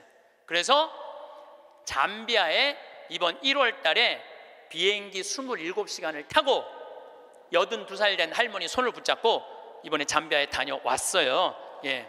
근데 여러분들 잠비아가 얼마나 큰 나라냐면 우리나라 남한보다 일곱 배 반이 커요. 일곱 배 반이. 그리고 전체가 평지야. 전체가 평지고 전체가 숲이야, 숲. 그러니까 우리는 아프리카 그러면 막, 막 사막, 그 다음에 막 먼지, 거기는 그런 거 하나 없어요. 그냥 숲만 정리해서 씨만 뿌리면 농장이 되는 데예요. 얼마나 비옥한지 몰라요. 얼마나 비옥한지. 누가 비가 안 오신대. 내가 할머니 모시고 간 보름 내내 비가 왔구만. 그러니까 안 가보고는 모르는 거 사람이. 안 가보고는. 그러니까 가서 봐야 돼. 가서. 그러니까 예수님이 오죽 답답했으면은 제자들이 저분이 진짜 맞아? 저분이 뭐, 뭐 하느님의 어린 양이야? 뭐 어쩌고 저쩌고 그러니까 예수님 뭐라 그래요? 와서 보시오. 유식한 말로 come and see 그러잖아요. 와서 보시오. 할머니 손을 붙잡고 내가 잠비아를 갔어요. 잠비아를 갔는데 시장을 이제 만나러 가잖아요. 무프리라라는 시를 이제 찾아가서 이 할머니가 10 밀리언을 기증을 해서 내가 여기다 농업대학을 세우려고 그러니 땅을 좀 줘라. 시장님을 만나러 갔어요. 전날 시장님 만나러 가기 전날 내가 그 프란치스코 전교 봉사의 수녀님 성당 있는 마당에서 하늘아대 대고 기도했어요. 하느님, 내일 시장을 만나러 가는데 내가 땅을 얼마를 달라고 그럴까요? 그러니까 정말로 하늘에서 두 말도 안 하고 하느님께서 나한테 이렇게 말씀하시더라고요. 3천 헥타르 딱 그러더라고요.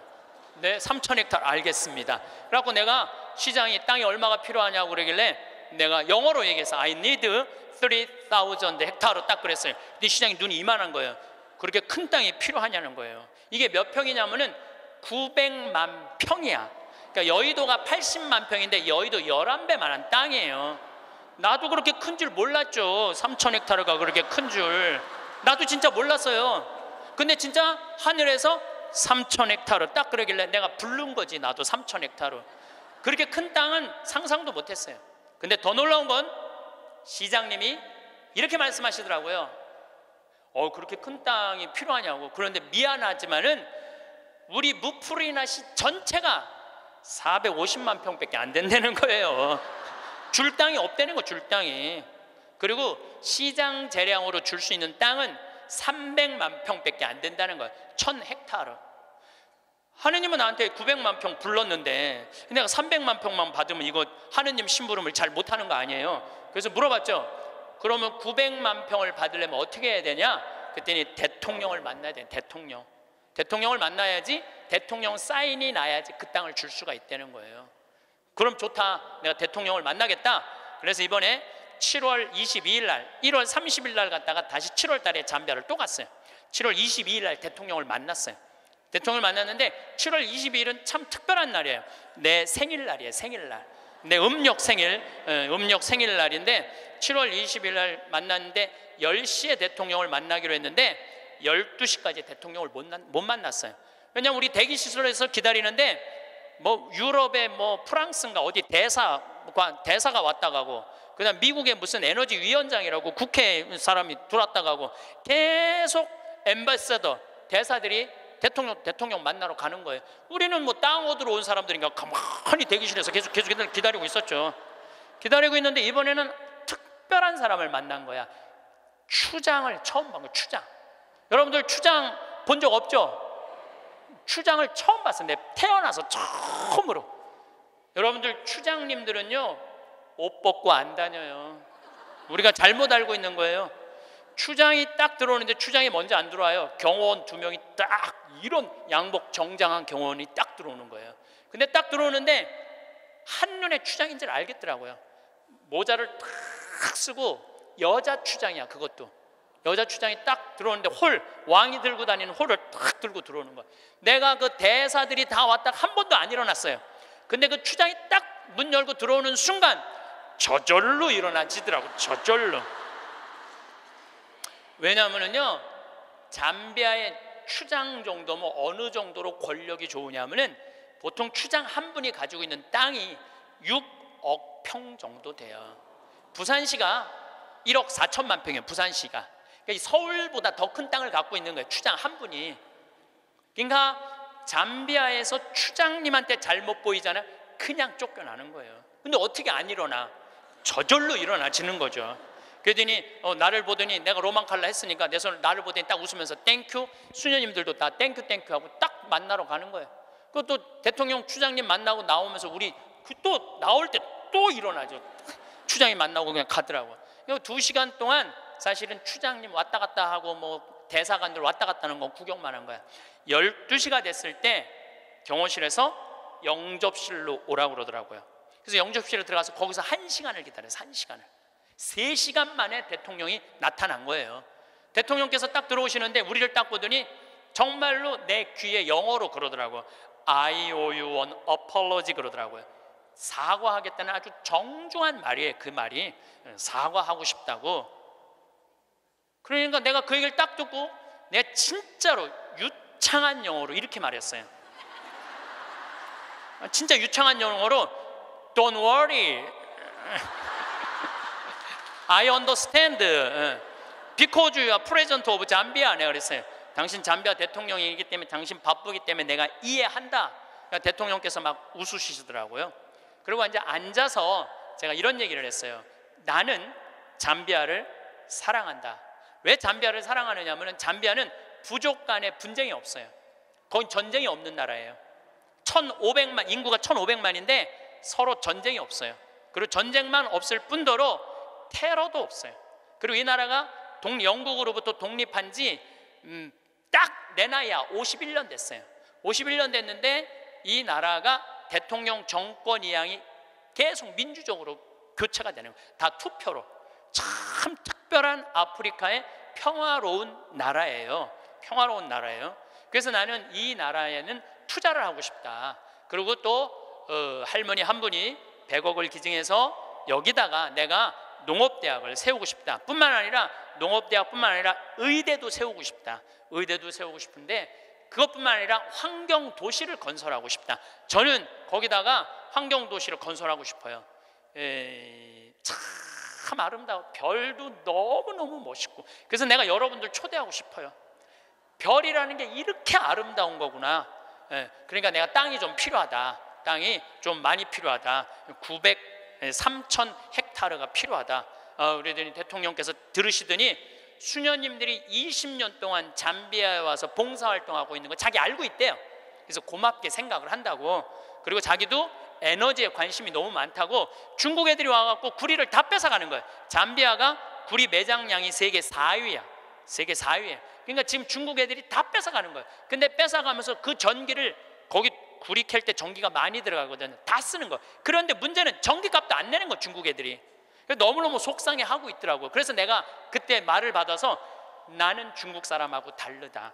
나는 그리고 우리나라는 그 얘기도 했어. 우리나라는 다른 나라 한 번도 침략한 적 없는 나라다. 다른 나라 거 뺏어 온 적이 한 번도 없는 나라다. 그런데 나는 여기다가 정말로 세계적으로 아름다운 환경 도시 음, 프로펠러, 윈드 프로펠러, 풍력 에너지, 그 다음에 솔라 에너지, 이거 여기다가 설치하고 싶다. 바람이 굉장히 많거든요. 그 나라가 해발 1500m 있어요. 그리고 1500m의 평지니까 바람이 얼마나 많아요. 그러니까 여기다가 이 기가 막히게 평화로운 국가의 아름다운 환경 도시를 건설하고 싶다. 그래서 난 3천 헥타르가 필요하다. 아, 나는 이런 말은 전부 다 한국말로 하고, 근데 내 옆에 이제 통역 교수를 데려갔죠, 내가. 예, 예 김기영 교수님이라고 아주 어, 마침 영국에서 공부를 한 교수님이에요. 영어를 너무너무 잘하시더라고요. 그래서 그 교수님이 다 통역을 해주고 대통령하고 얘기를 다 했어요. 대통령이 한 40분을 얘기를 했어요. 40분을 얘기를 했는데 이번에 사실은 평화방송에서 어, 제 잠비아 활동을 찍으러 갔어요. 하이라이트가 뭐냐면은 대통령 만나는 거 찍는 게 하이라이트야. 그런데 내가 공식적인 외교적인 채널로 온 게 아니기 때문에 방송국은 못 들어온다는 거예요. 너무 속상하더라고요. 그걸 어, 우리 국민들한테 보여주고 싶고 우리 교우들한테 보, 보여주고 싶었는데 근데 이제 거의 다 끝났는데 딱 얼굴을 돌려보니까 평화방송이 찍고 있는 거야. 그래서 나중에 어떻게 된 거냐 물어봤더니 우리를 너무 오래 기다리게 해서 그런지 갑자기 경호실에서 들어가서 찍으라고 그랬다는 거예요. 나는 이렇게 대통령을 보고 있느냐고 앞을 못 봤거든요. 40분 동안 집중을 해야 되잖아요. 집중 잘 못 알아들어도 알아듣는 척하고 막 이렇게 집중을 해야 되기 때문에 앞을 못 봤어요. 다 찍었다는 거, 다 찍었다는 거예요. 그래서 이번에 평화 방송에서 성탄 특집으로 제목이 내가 정확하게 못 들었는데 8월의 크리스마스라는 제목으로 그 잠비아 특집으로 방송을 할 거예요. 여러분 한번 보세요. 꼭 보세요. 그리고 이제 어, 대통령께서 다 얘기가 끝나고 미안했는지 사진 찍자고 그러더라고요. 그래서 내가 딱 일어났는데 아 대통령 난 벌써 일어나는 거 끝났는데 대통령은 계속 일어나는 거야. 키, 가 보니까 2m야 2m 대통령이 키가 그래서 제가 진짜 이랬어요. 이렇게 고개를 들고 진짜 또 유창한 영어로 이렇게 얘기했어요. too tall 내가 그랬어 too tall 사진을 찍으려고 그러니까 내가 너무 키가 작으니까 안 되겠어. 그래서 내가 영어로 얘기했어요. I need lift, lift 올리겠다. My heel 뒤꿈치를 올리겠다. 내가 그러니까 대통령이 박장대소를 하시는 거예요. 그래갖고 대통령이 한 우리 간 직원들 이제 우리 수녀님들 다 뭐 열 분하고 사진. 어 우리 저 저기 평화방송 스탭들하고도 다 찍어주셨어요. 너무 너무 즐거우셨나 봐요.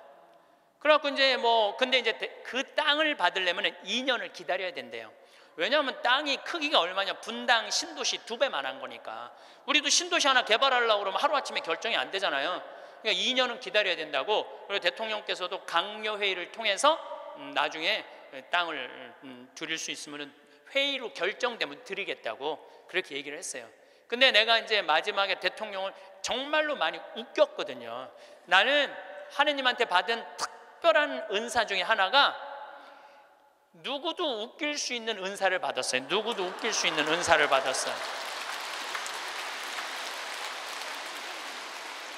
그리고 나는 끝나고 사실은 대통령 만나고 눕고 이러고 저러는 바람에 새벽에 갔다가 밤 12시 와갖고 생일 밥도 못 먹었어요. 그리고 다음날 강의는 LA, 아프리카에서 LA 성령대 강의가 있는데 그런저런 이유로 비행기를 놓쳤어요. 2,500명이 기다리고 있는데 LA에서 지금 나를 그러니까 전 세계 비행기를 뒤져 보니까 원래 싱가포르로 해서 LA로 이제 가는 비행기를 끊어놨는데 그걸 놓쳤으니 가, 가, 가긴 가야 될 거 아니야. 지금 2,500명이 날 기다리고 있는데 그래 뒤져 보니까 남아프리카 공화국 요한네스 버그에서 암스텔담 유럽 맨 끝에 네덜란드 암스텔담에서 거기서 또 완전 끝으로 LA로 가는 비행기가 있더라고. 엄청 비싼 비행기 표가 그걸 끊어서 하루 종일 걸쳐서 암스텔담에 도착을 했어요. 암스텔담에 도착을 해갖고 핸드폰을 딱 열어보니까 수녀님이 메시지를 보냈어. 신부님 기적이 일어났다는 거예요. 무슨 기적인가 했더니 다음날 하루가 지난 거니까 다음날 대통령께서 직접 국토부 장관한테 직접 전화했대. 직접 전화해갖고 어제 한국에서 오신 신부님 원하는 땅 3천 헥타르 장관이 책임지고 다 드리라고 그랬다는 거예요.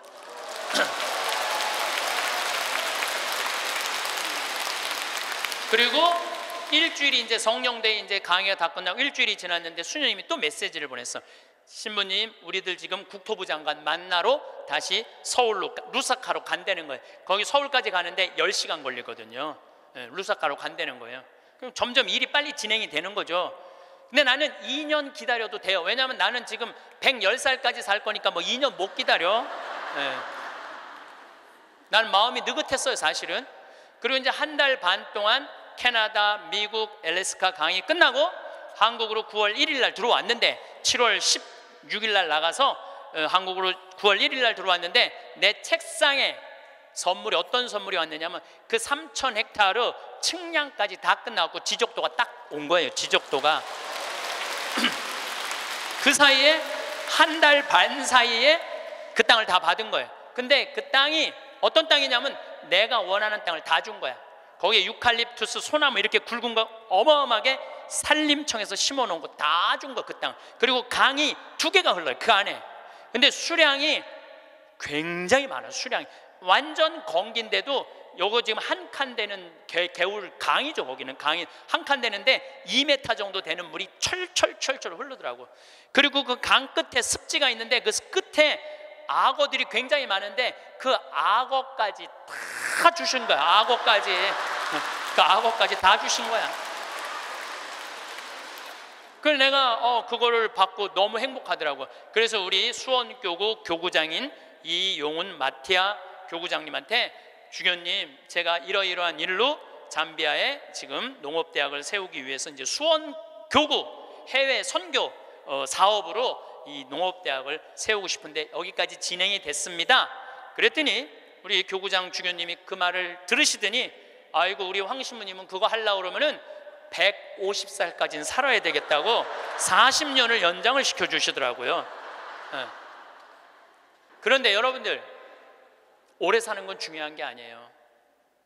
단 하루를 살더라도 사는 것처럼 살아야죠. 하루를 살더라도 사는 것처럼 살아야죠. 여러분들 80살서부터 90살까지 10년 동안 뒷방에서 이루고 살면은 그 10년의 의미가 있어요, 없어요? 의미가 없어요. 삶은요, 재미도 있고 의미도 있어야 돼요. 뒷방에 앉아갖고 재미도 없고 의미도 없으면 그건 의미가 없는 거예요. 그래서 사는 것처럼 살아라. 귀양 살라 그러면은 달걀 중에 유정란이 있고 무정란이 있어요. 똑같은 달걀인데 어떤 달걀은 뿅아리를 까고 어떤 달걀은 뿅아리를 못 까요. 참 그거 구분하기 어렵대요. 유정란인지 무정란인지 똑같은 달걀인데 근데 사람도요 유정란이 있고요 무정란이 있어요. 똑같이 인생을 사는데 이 사람은 무정란이야. 생명이 없는 사람이 있어. 매일 죽는다는 소리 입에 그냥 달고 다니는 사람이 있어요.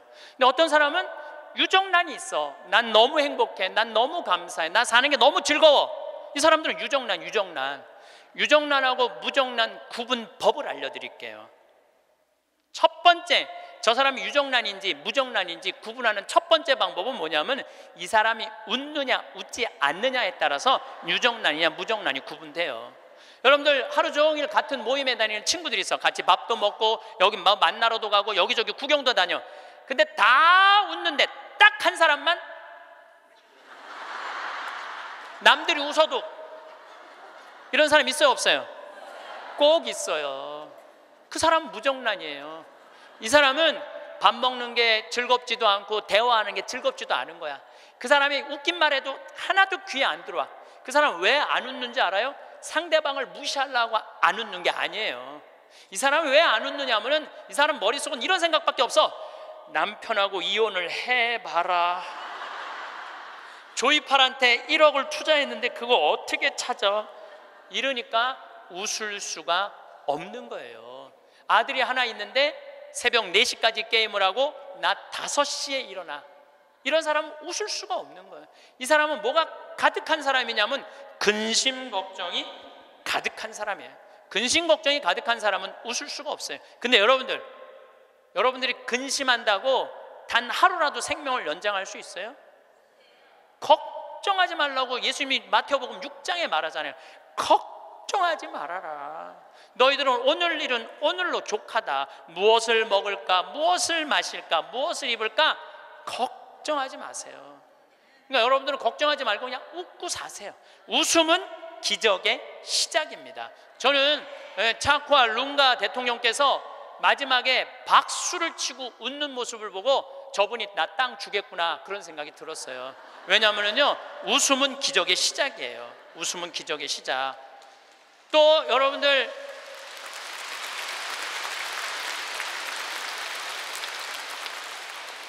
오늘 강의 들어서 사진 여러분들 안 나오는 분들 많죠. 아, 나는 왜 사진이 안 나와? 들여다봐요. 웃나 인상 쓰고 있나?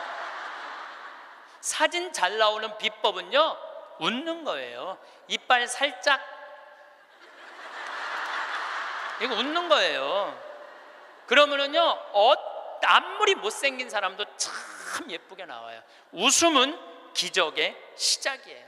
그런 사람은 유정란으로 살 수 있어요. 유정란, 무정란 두 번째 구분법은 뭐냐면은 감동하느냐, 감동하지 않느냐예요. 여러분들 어떤 사람도 보면 뭐 맛있는 거, 막, 아우 맛있다, 정말 맛있다, 막 이렇게 좋아하는 사람 있죠. 뭐 신난다, 뭐, 뭐 공연을 봐도 너무 멋있다 이런 사람 있죠. 그런 사람이랑 같이 다니면 다닐만 해요. 예. 저는 어, 이번에 미국 어, 강의 중에 유타라는 곳을 여행을 했어요. 일주일 동안. 유타는 뭐냐면 여러분들 서부 영화 보면 막 쫙 빨간 뭐 돌산이 막 하늘 높이 서 있고 그런 거 있죠. 거기에 브라이스 캐년, 그랜드 캐년, 델리킷 아치 뭐 어, 이런 캐년랜드 이런 데가 있는 지역이에요. 미국에서도 가장 인기 있는 관광지예요. 거기를 일주일 동안 여행을 했는데 나 여행을 인도한 사람이 74살 먹은 마틸다라는 친구예요. 저는 여러 차례 말씀드리지만 나는 87살까지는 친구예요. 87살까지는 친구예요. 예. 근데 74살 먹은 마틸다라는 이 친구인데 4년 전에 내가 미국 강의 갔을 때 요세미티라는 공원을 나를 하루 1박 2일을 데리고 왔는데 내가 너무너무 행복해 하니까 이번에 강의 온다니까 준비를 한 거야. 나 보여주려고 3,000km가 되는 데를 세 번을 답사를 한 거예요. 3,000개, 74살 먹은. 근데 이분은 부자가 아니야. 세탁소 하는 분이에요. 근데 정말 내 강의 대로 사는 분이야. 돈만 생기면 여행을 가는 거예요. 나중에 안 가고 이분은 생각만 나면 지금 가는 분이야. 지금. 얼마나 즐겁게 사는지 몰라. 정말로 뭐 모아놓은 이런 생각 없어. 그냥 쓰는 거야. 그냥 쓰다 죽자. 쓰죽회 회장이야. 그냥 쓰다 죽자. 그냥 쓰다 죽자. 3,000km를 세 번을 답사를 한 거예요. 여덟 명이 같이 여행을 갔는데 이분은 이미 다 구경했기 때문에 더 이상 볼 게 없는 분이에요. 딱 view point, 제일 경치 좋은 자리 가서 이분은 경치를 안 보고 나를 보더라고요. 과연 내가 감동할 것이냐, 감동하지 않을 것이냐. 근데 저는 5년 전에 내가 위암 걸리고 난 다음부터 저는 매일매일 감동이에요. 이번에도 단풍을 보는데 내가 하느님한테 기도했어요. 하느님, 이 아름다운 단풍을 올해도 볼 수 있게 해주셔서 감사합니다. 올해도 볼 수 있게 해주셔서 감사합니다. 별, 어제는 오래간만에 별이 막 떴어요.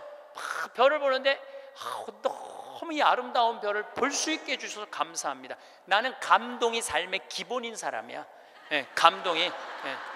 막 감동을 하면 막 너무너무 행복해. 그러니까 내가 그 view point에 딱 섰을 때 내 반응은 정말 이랬어요. 여기 죽인다. 여기 너무 멋있다. 좋아, 아주 좋아. 제가 맨 입, 입만 열면은 oh my god. 너무 일주일 동안 내가 계속 입에서 감동. 와, 너무 멋있, 진짜 멋있었고. 이랬을 때 나하고 같이 간 일곱 명은 자기 인생에 가장 행복했던 여행이라고 얘기를 하더라고. 여행은 어디를 가느냐가 중요한 게 아니에요. 누구와 가느냐가 중요한 거예요. 누구와 가는데 감동하는 사람이랑 가느냐, 감동하지 않는 사람이랑 가느냐에 따라서 여행은 기분이 확 잡치기도 하고 너무 멋있기도 해. 꼭 여러분들 이런 사람들 있죠. 꼭 좋은데 경치 좋은데라고 생각하고 데리고 갔는데 이렇게 말하는 사람 있어요. 뭐하러 여기까지 와? 있어요, 없어요? 꼭 있어요. 만약에 내가 그 델리킷 아치에서 이렇게 말했다면 그분은 다리에 힘이 쭉 빠졌을 거예요. 에이, 여기 뭐 우리나라 설악산 울산바위만 못하네. 이러면은요, 상대방 무릎 꺾, 꺾는 것보다도 더 나쁜 일을 하고 있는 거예요. 사람은요, 감동을 할 줄 알아야지 이 사람이 멋있는 사람이에요. 그게 유정란이야. 유정란. 여러분들 아내가 아유 아파, 아유 허리 아파, 아 힘들어 죽겠어. 그럼 남편이 아이고 그또 아프다 그러네. 그, 그, 그, 이거 아픈 사람 한 줄이야. 좀 제발 좀 끙끙 소리 좀 하지 마. 그럼 정말로 신경질이 나요. 그 아이고 아파, 아이고 어떻게 해줄까? 얼마나 애 낳느냐고 힘들어갖고 이렇게 아프고 아 정말 내가 죽일 놈이지. 살림하느냐고 힘들고 얼마나 아플까? 이거는요 위로가 돼요. 아프다. 나도 옛날에 다 아파봤어. 뭐 이런 사람 완전히 고춧가루 뿌리는 사람이에요. 유정란, 무정란은요 감동하느냐, 감동하지 않느냐에 따라서 결정이 되는 것. 또 유정란, 무정란은 감사하느냐, 감사하지 않느냐에 따라서 유정란, 무정란은 결정적으로 구분 지어져요.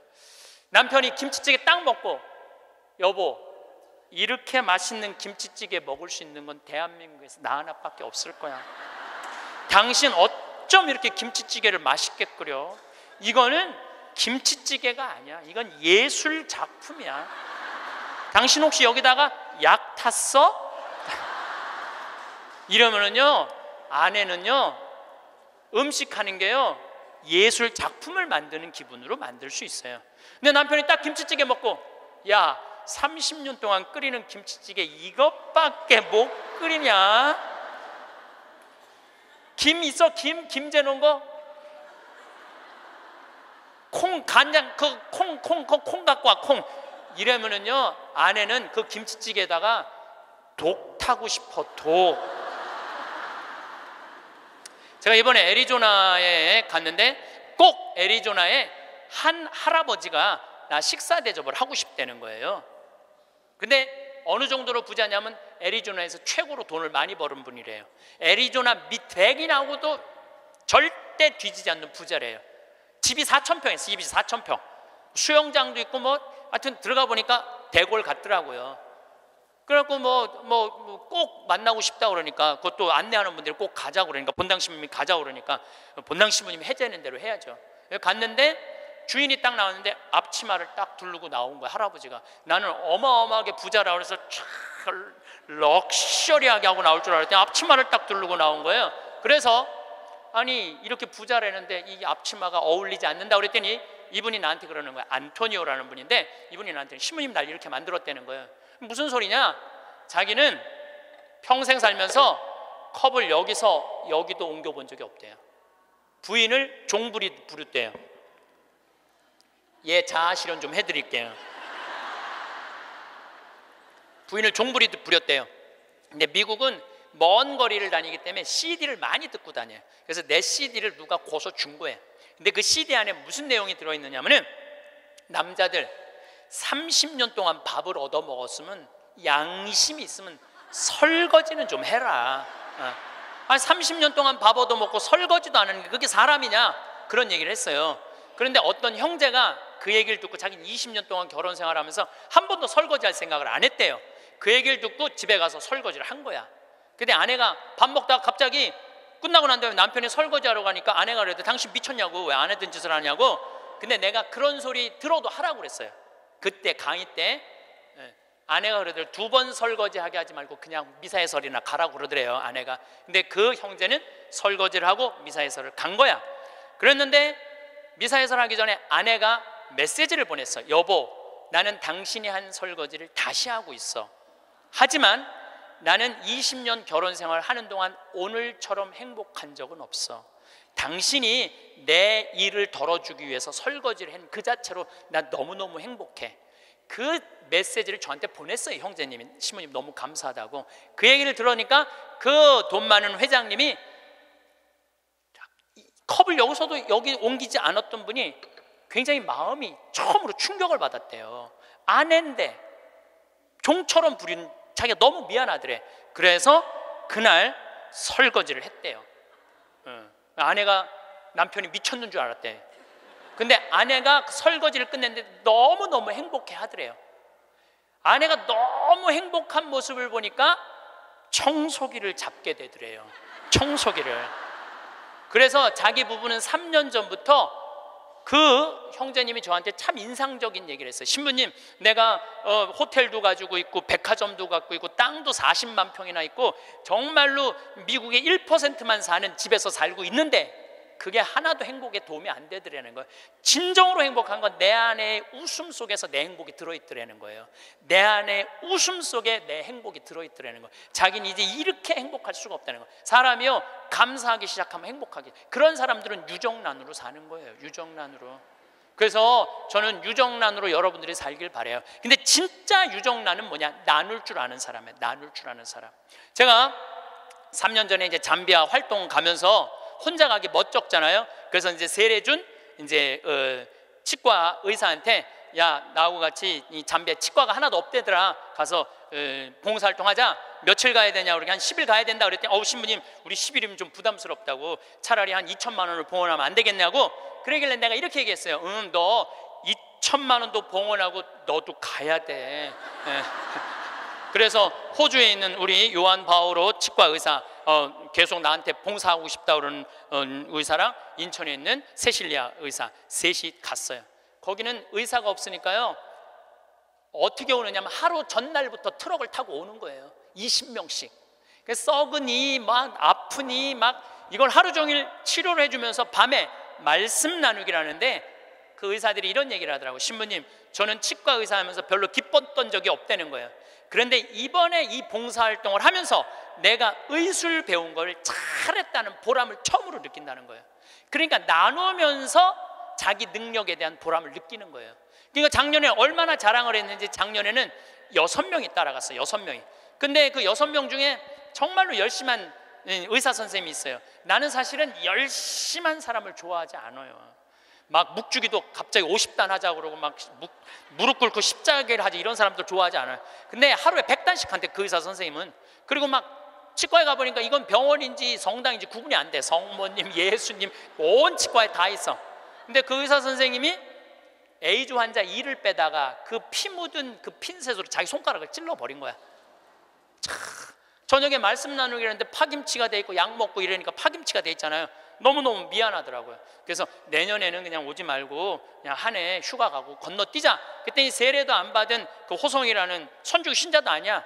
김호성이라는 치과 의사가 나를 똑바로 쳐다보는 이렇게 얘기하더라고요. 신부님, 신부님은 내년에 오지 마세요. 우리끼리 올 테니까. 이 좋은 거를 왜 막느냐 이거야. 비행기표도 다 자기네들이 내고 가는 건데. 다 자기네들 돈으로 가는 거예요. 이게요, 의미를 찾잖아요? 그럼 삶은요, 찬란해지는 거예요. 의미를 찾으면은. 그래갖고 올해는 의사 선생님들이 여덟 명이 갔어. 내년에 데려가 달라는 의사가 네명이야네 명 열두 명 기적은요, 억지로 만들라고 이루어지는 게 아니에요. 그냥 하느님이 이루어 주시는 거예요. 나눌 때 기적이 일어나는 거예요. 그런데 저는 거기다가 아 이제 농장도 20만 평을 이제 꾸며줬어요. 농장도 20만 평 꾸며주고 닭장도 해갖고 천 마리 팔던 거 이제 2천 마리씩 다달이 판대요. 그런데 소를 못 키우겠는 거야. 소를. 저 소만 키우면 이제 거긴 다 이제 내 꿈이 다 이루어지는데. 근데 우리 평창 군수님이 대관령 한유협회 11년 동안 조합장 하다가 군수님이 된 거야. 그분하고 밥 먹을 때마다 이런 생각이 드는 거예요.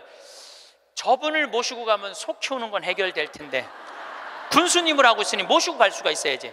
그래갖고 내가 밥 먹을 때마다 속으로 이런 생각을 했어요. 다음 선거에 좀 떨어져라 이런 생각을 했어요.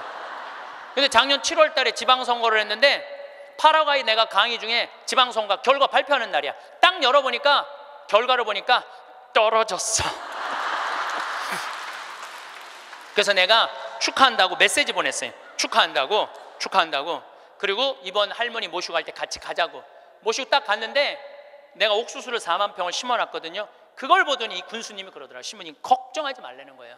이거 사일리지 하면 된다는 거, 소사료로 만들면 된다는 거예요. 그래서 이거 해달라고 그랬더니 세 번을 가셨어 잠비아를 싹 해갖고 소를 먹이는데 소들이 너무 너무 잘 먹는 거예요.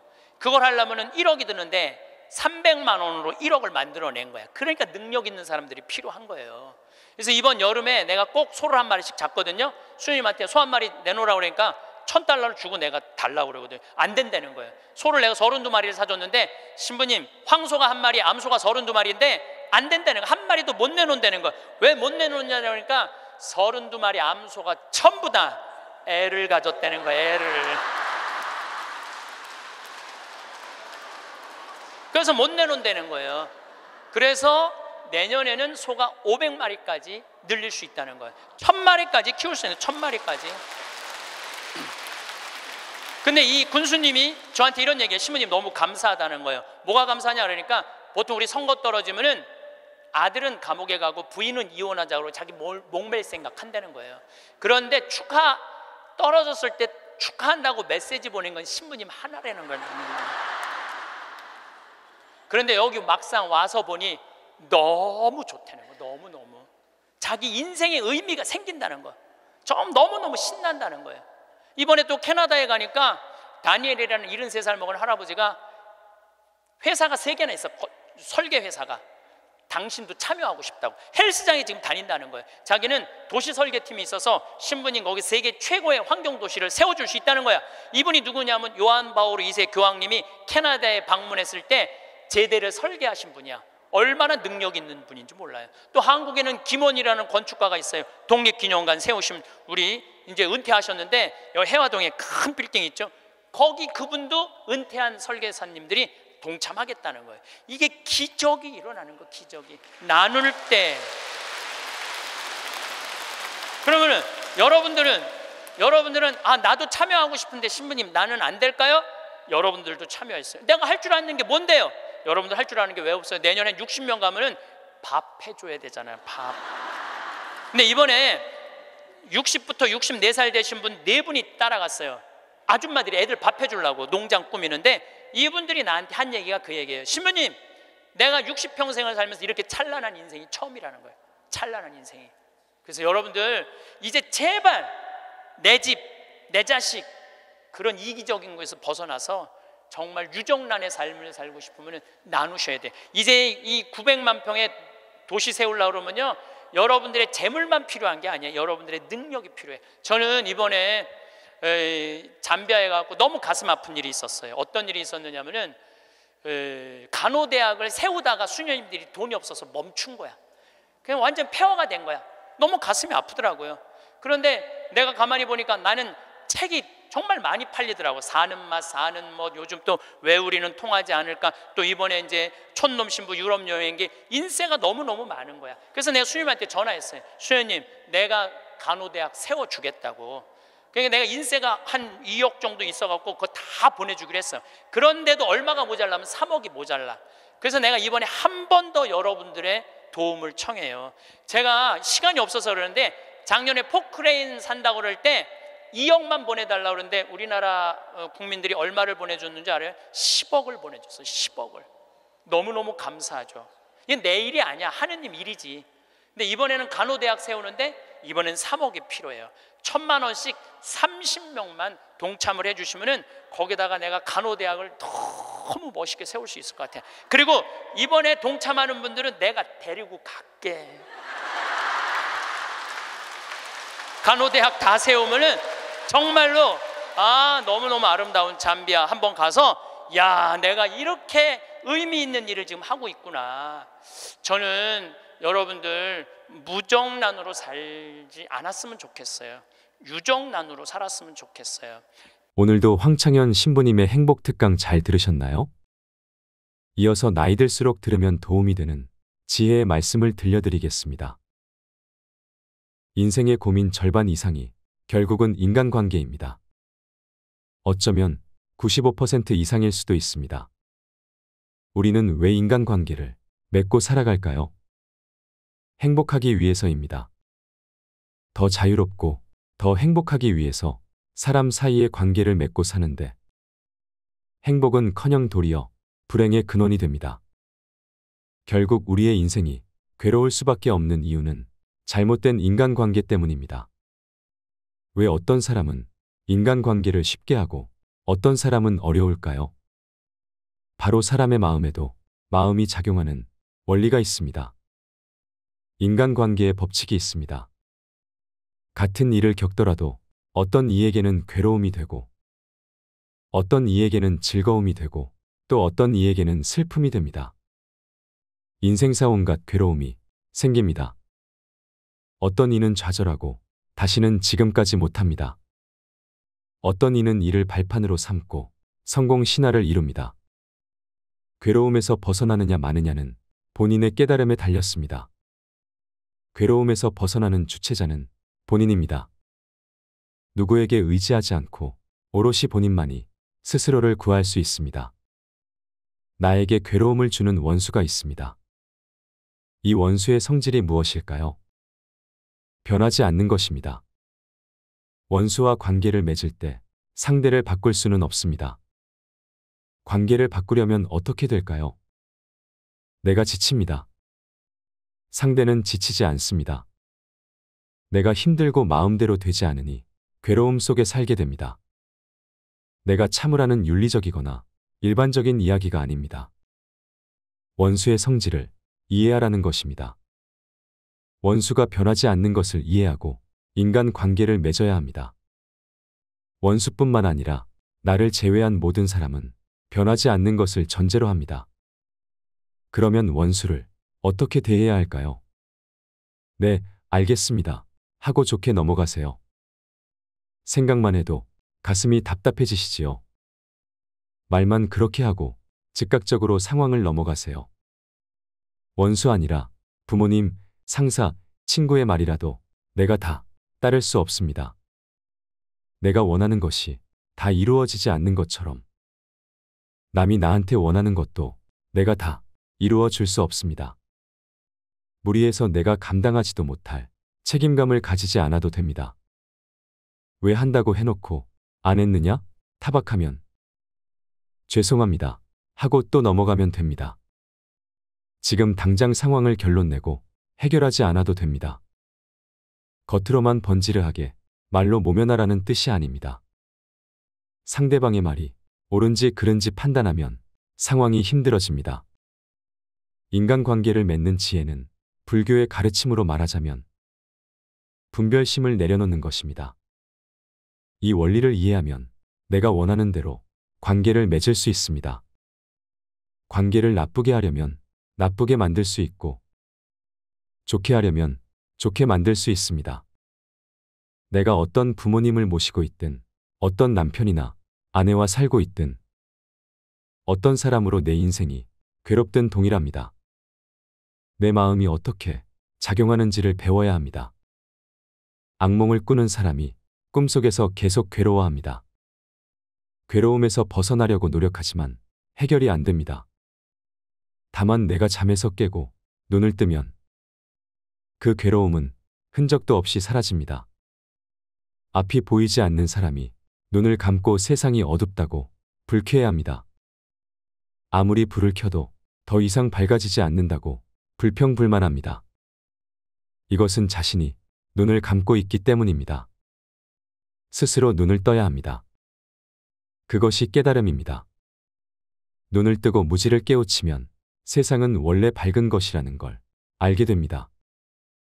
이 방법을 모르면 종교를 믿든 사주팔자를 보든 전생을 믿든 무엇을 하든지 간에 고통에서 벗어날 수가 없습니다. 내가 좋게 관계를 맺으려 해도 결과가 나쁩니다. 그러면 억울합니다. 하늘을 원망하고 전생을 탓하고 팔자 타령을 하게 됩니다. 부처님의 말씀은 있는 그대로 받아들이라는 것입니다. 자연이면 자연의 성질, 생명이면 생존의 원리, 마음이면 마음의 작용 원리를 이해하라는 것입니다. 행동을 규정하는 윤리도덕이 아닙니다. 스스로의 마음을 움직이는 원리를 배우는 것입니다. 남을 못마땅해 하지도 말고 고치려고도 하지 마세요. 내가 나를 바꾸려고 해도 잘 안 되는데 남을 어떻게 바꾸겠습니까? 다만 내가 보기에 못마땅해서가 아니라 그 사람을 위하는 마음으로 고치도록 권하는 것은 괜찮습니다. 다만 쉽게 고쳐지지 않을 것임을 미리 알고 시작해야 합니다. 한두 번 지적했는데도 상대방의 행동이 고쳐지지 않으면 불쾌합니다. 상대방을 생각해서 충고해 주었는데 무시당한다고 느끼고 기분이 나쁩니다. 이런 생각이 들 때는 그 사람이 아니라 나를 점검해 봐야 합니다. 내가 원하는 답을 상대에게 정해놓고 요구하지 마세요. 정말로 그 사람을 위하려는 마음에서 충고를 했는지, 혹시 내 마음에 들지 않아서 고치고 싶었던 것은 아닌지, 금방 고쳐질 것이라는 기대를 버리고 조언하면 상대방이 달라지지 않더라도 내가 기분 상할 일이 없습니다. 쉽게 안 고쳐진다는 것을 미리 알았기 때문에 오랜 시간 도와줄 수 있습니다. 상대방이 내 말을 듣지 않는다고 스트레스를 받으면 안 됩니다. 내가 아는 사실을 상대에게 알려줄 수는 있지만 그 이야기를 듣고 판단하는 것은 그 사람의 몫입니다. 그런데 대부분은 상대의 행동이 바뀌지 않으면 저 인간이 아직도 정신을 못 차렸네 생각하면서 화를 냅니다. 이때 괴로워지는 것은 내 자신일 뿐입니다. 상대방이 내 충고를 받아들이지 않아서 짜증이 밀려올 때는 먼저 내 마음을 고요히 지켜보십시오. 그러고도 정말로 나를 위해서가 아니라 상대방을 위한다는 판단이 선다면 내 뜻대로 상대를 고치려는 대신 상대에게 추가의 정보를 주세요. 결정은 당사자가 하도록 또 지켜봐 주어야 합니다. 내 마음과 생각을 말하지 않으면 상대방은 알 수가 없습니다. 처음에는 본인의 화를 꼭 참습니다. 그것을 참다 참다 말을 하니까 말을 할 때는 신경질적으로 할 수밖에 없습니다. 그러면 상대방은 말투를 보고 더 화를 냅니다. 한번 생각해 보세요.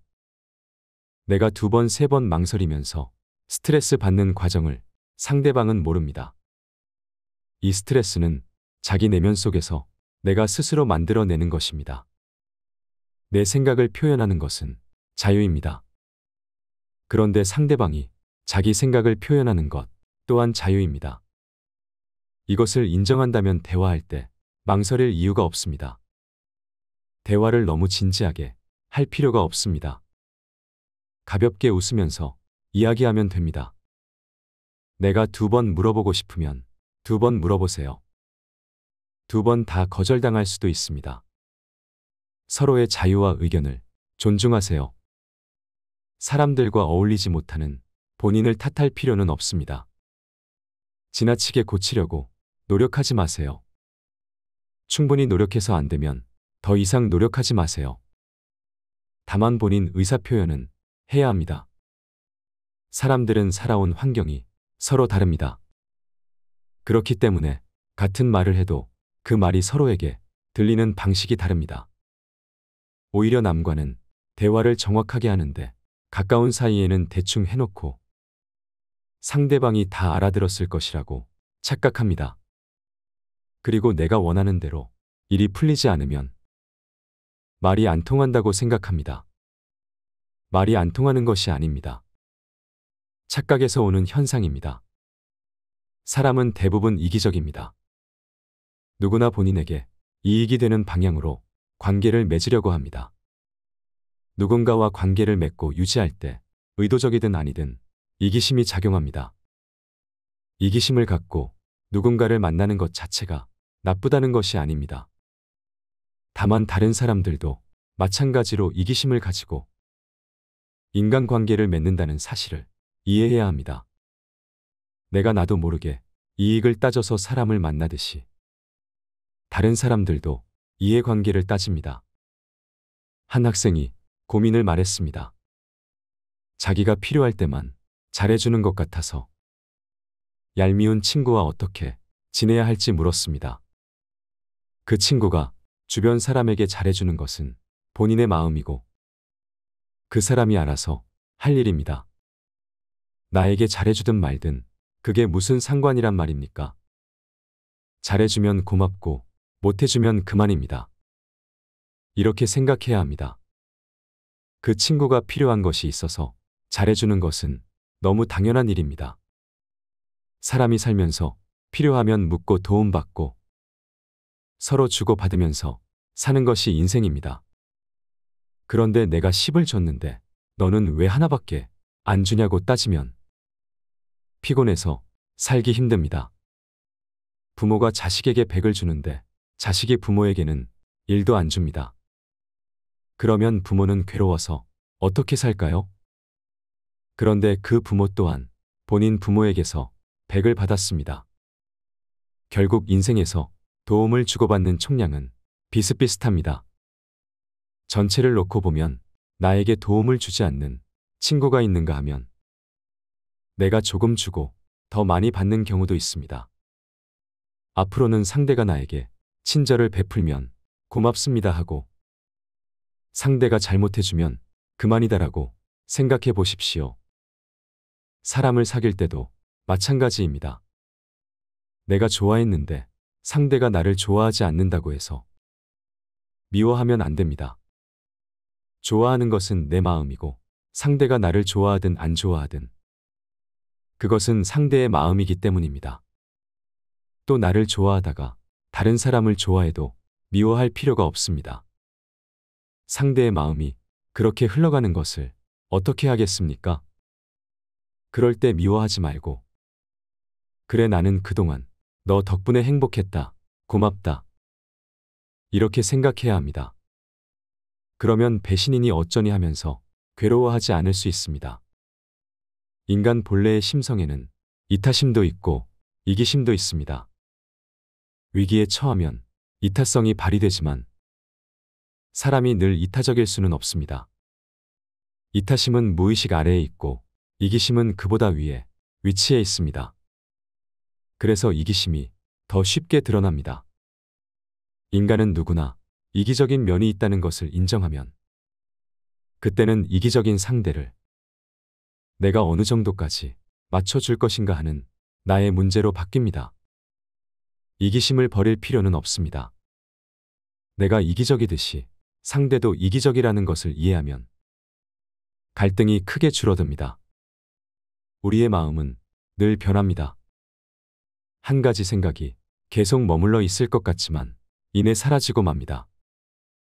상대의 마음이 한결같기를 기대하지만 사실 불가능한 일입니다. 이게 마음의 성질입니다. 이런 성질을 이해하지 못한 채 마음이 변하지 않기를 기대하니까 그렇게 되지 않으면 괴로운 것입니다. 행복으로 가는 길은 우리의 마음이 변치 않는 것이 아니라 마음이 바뀔 줄 미리 알고 그 변화를 받아들이는 데에 있습니다.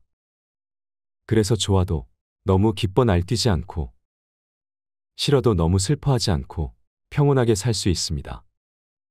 상대방이 나를 배신하더라도 우리가 할 수 있는 일은 마음은 변하기 마련이라는 사실을 받아들임에 있습니다. 그래도 그 사람과 계속 인연을 이어갈지 말지는 나의 선택입니다. 우리의 마음은 잠깐 머물렀다가 흩어집니다. 정도의 차이가 있을 뿐 누구에게나 같습니다.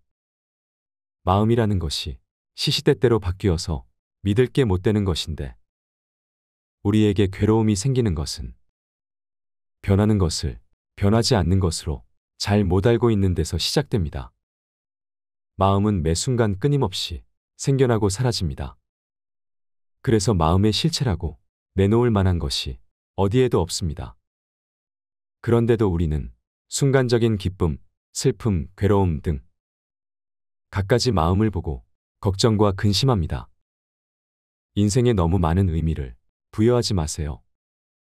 열심히 할 뿐 결과에 연연해하지 않는다면 그 과정에서 당신은 이미 행복한 것입니다. 내가 잘났다.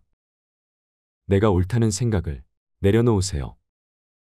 상대방이 내 마음에 들지 않는다고 아쉬워할 게 아니라 다 갖춘 사람은 없구나. 세상은 공평하구나 하고 생각할 수 있어야 합니다. 인생을 편하게 살려면 내가 가진 능력이 100이라고 할 때 남에게는 아무리 많아도 80 정도만 알리는 것이 좋습니다. 문제를 밖에 두면 내 안에서 행복을 찾을 수가 없습니다. 실패를 절망이 아닌 경험으로 받아들이세요. 나쁜 일에는 반드시 배울 점이 있습니다. 성장할 수 있는 기회로 삼으세요. 너무 힘들게 하는 것이 있으면 내려놓으세요. 그러면 자유롭고 행복할 수 있습니다. 무엇이든 인정하면 자유로워집니다. 내일이나 나중이 아닌 지금 바로 이 순간 행복하세요. 조건이 나쁠 때는 좋아지기만을 바라보느라 눈이 멀고 조건이 좋아지면 이제는 그 좋은 결과가 사라질까봐 전전긍긍합니다. 그러느라 한 번도 제대로 된 행복을 느끼지 못한 채 시간만 흘러갑니다. 지금 이 순간에 만족하는 것이 진정한 행복입니다. 나 자신에 대한 부정적인 생각은 거두어야 합니다. 나 자신을 초라하게 여기면 마음이 무거워져서 남을 만나기 힘들어집니다. 마음을 가볍게 가질 필요가 있습니다. 인생의 쓴맛을 알면 인생이 편해집니다. 이때 화를 내면 내 손해입니다. 마음이 허전한 것은 욕심 때문입니다. 굳이 채우려는 생각을 버리세요. 그러면 허전한 마음도 사라집니다. 인생의 정답은 없습니다. 스스로 선택한 대로 사는 것일 뿐입니다. 어떤 삶을 살더라도 당신은 행복할 권리가 있습니다. 그러나 남의 불행 위에 내 행복을 쌓지 마세요. 시기 질투를 이용하는 것은 불행한 사람들이 하는 짓입니다. 원하는 것이 모두 이루어져야 한다는 생각을 버리세요. 실수하면 안 된다고 정해 놓았기 때문에 실수하는 내 모습이 싫은 것입니다. 빨리 많은 것을 이루려고 하지 마세요. 이 생각 때문에 괴로운 것입니다. 이루어지면 좋고 안 이루어져도 그만입니다.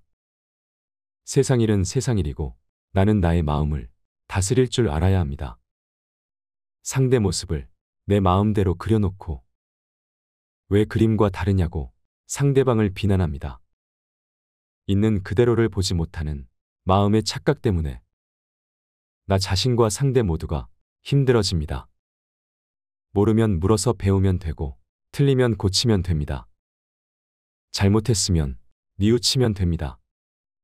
그러니 인생 살 때 겁낼 것 없습니다. 내 인생의 주인공으로 살면 됩니다. 잘 산 인생은 높은 자리에 오르고 부유한 것이 아니라 내일 죽어도 여한이 없는 삶입니다.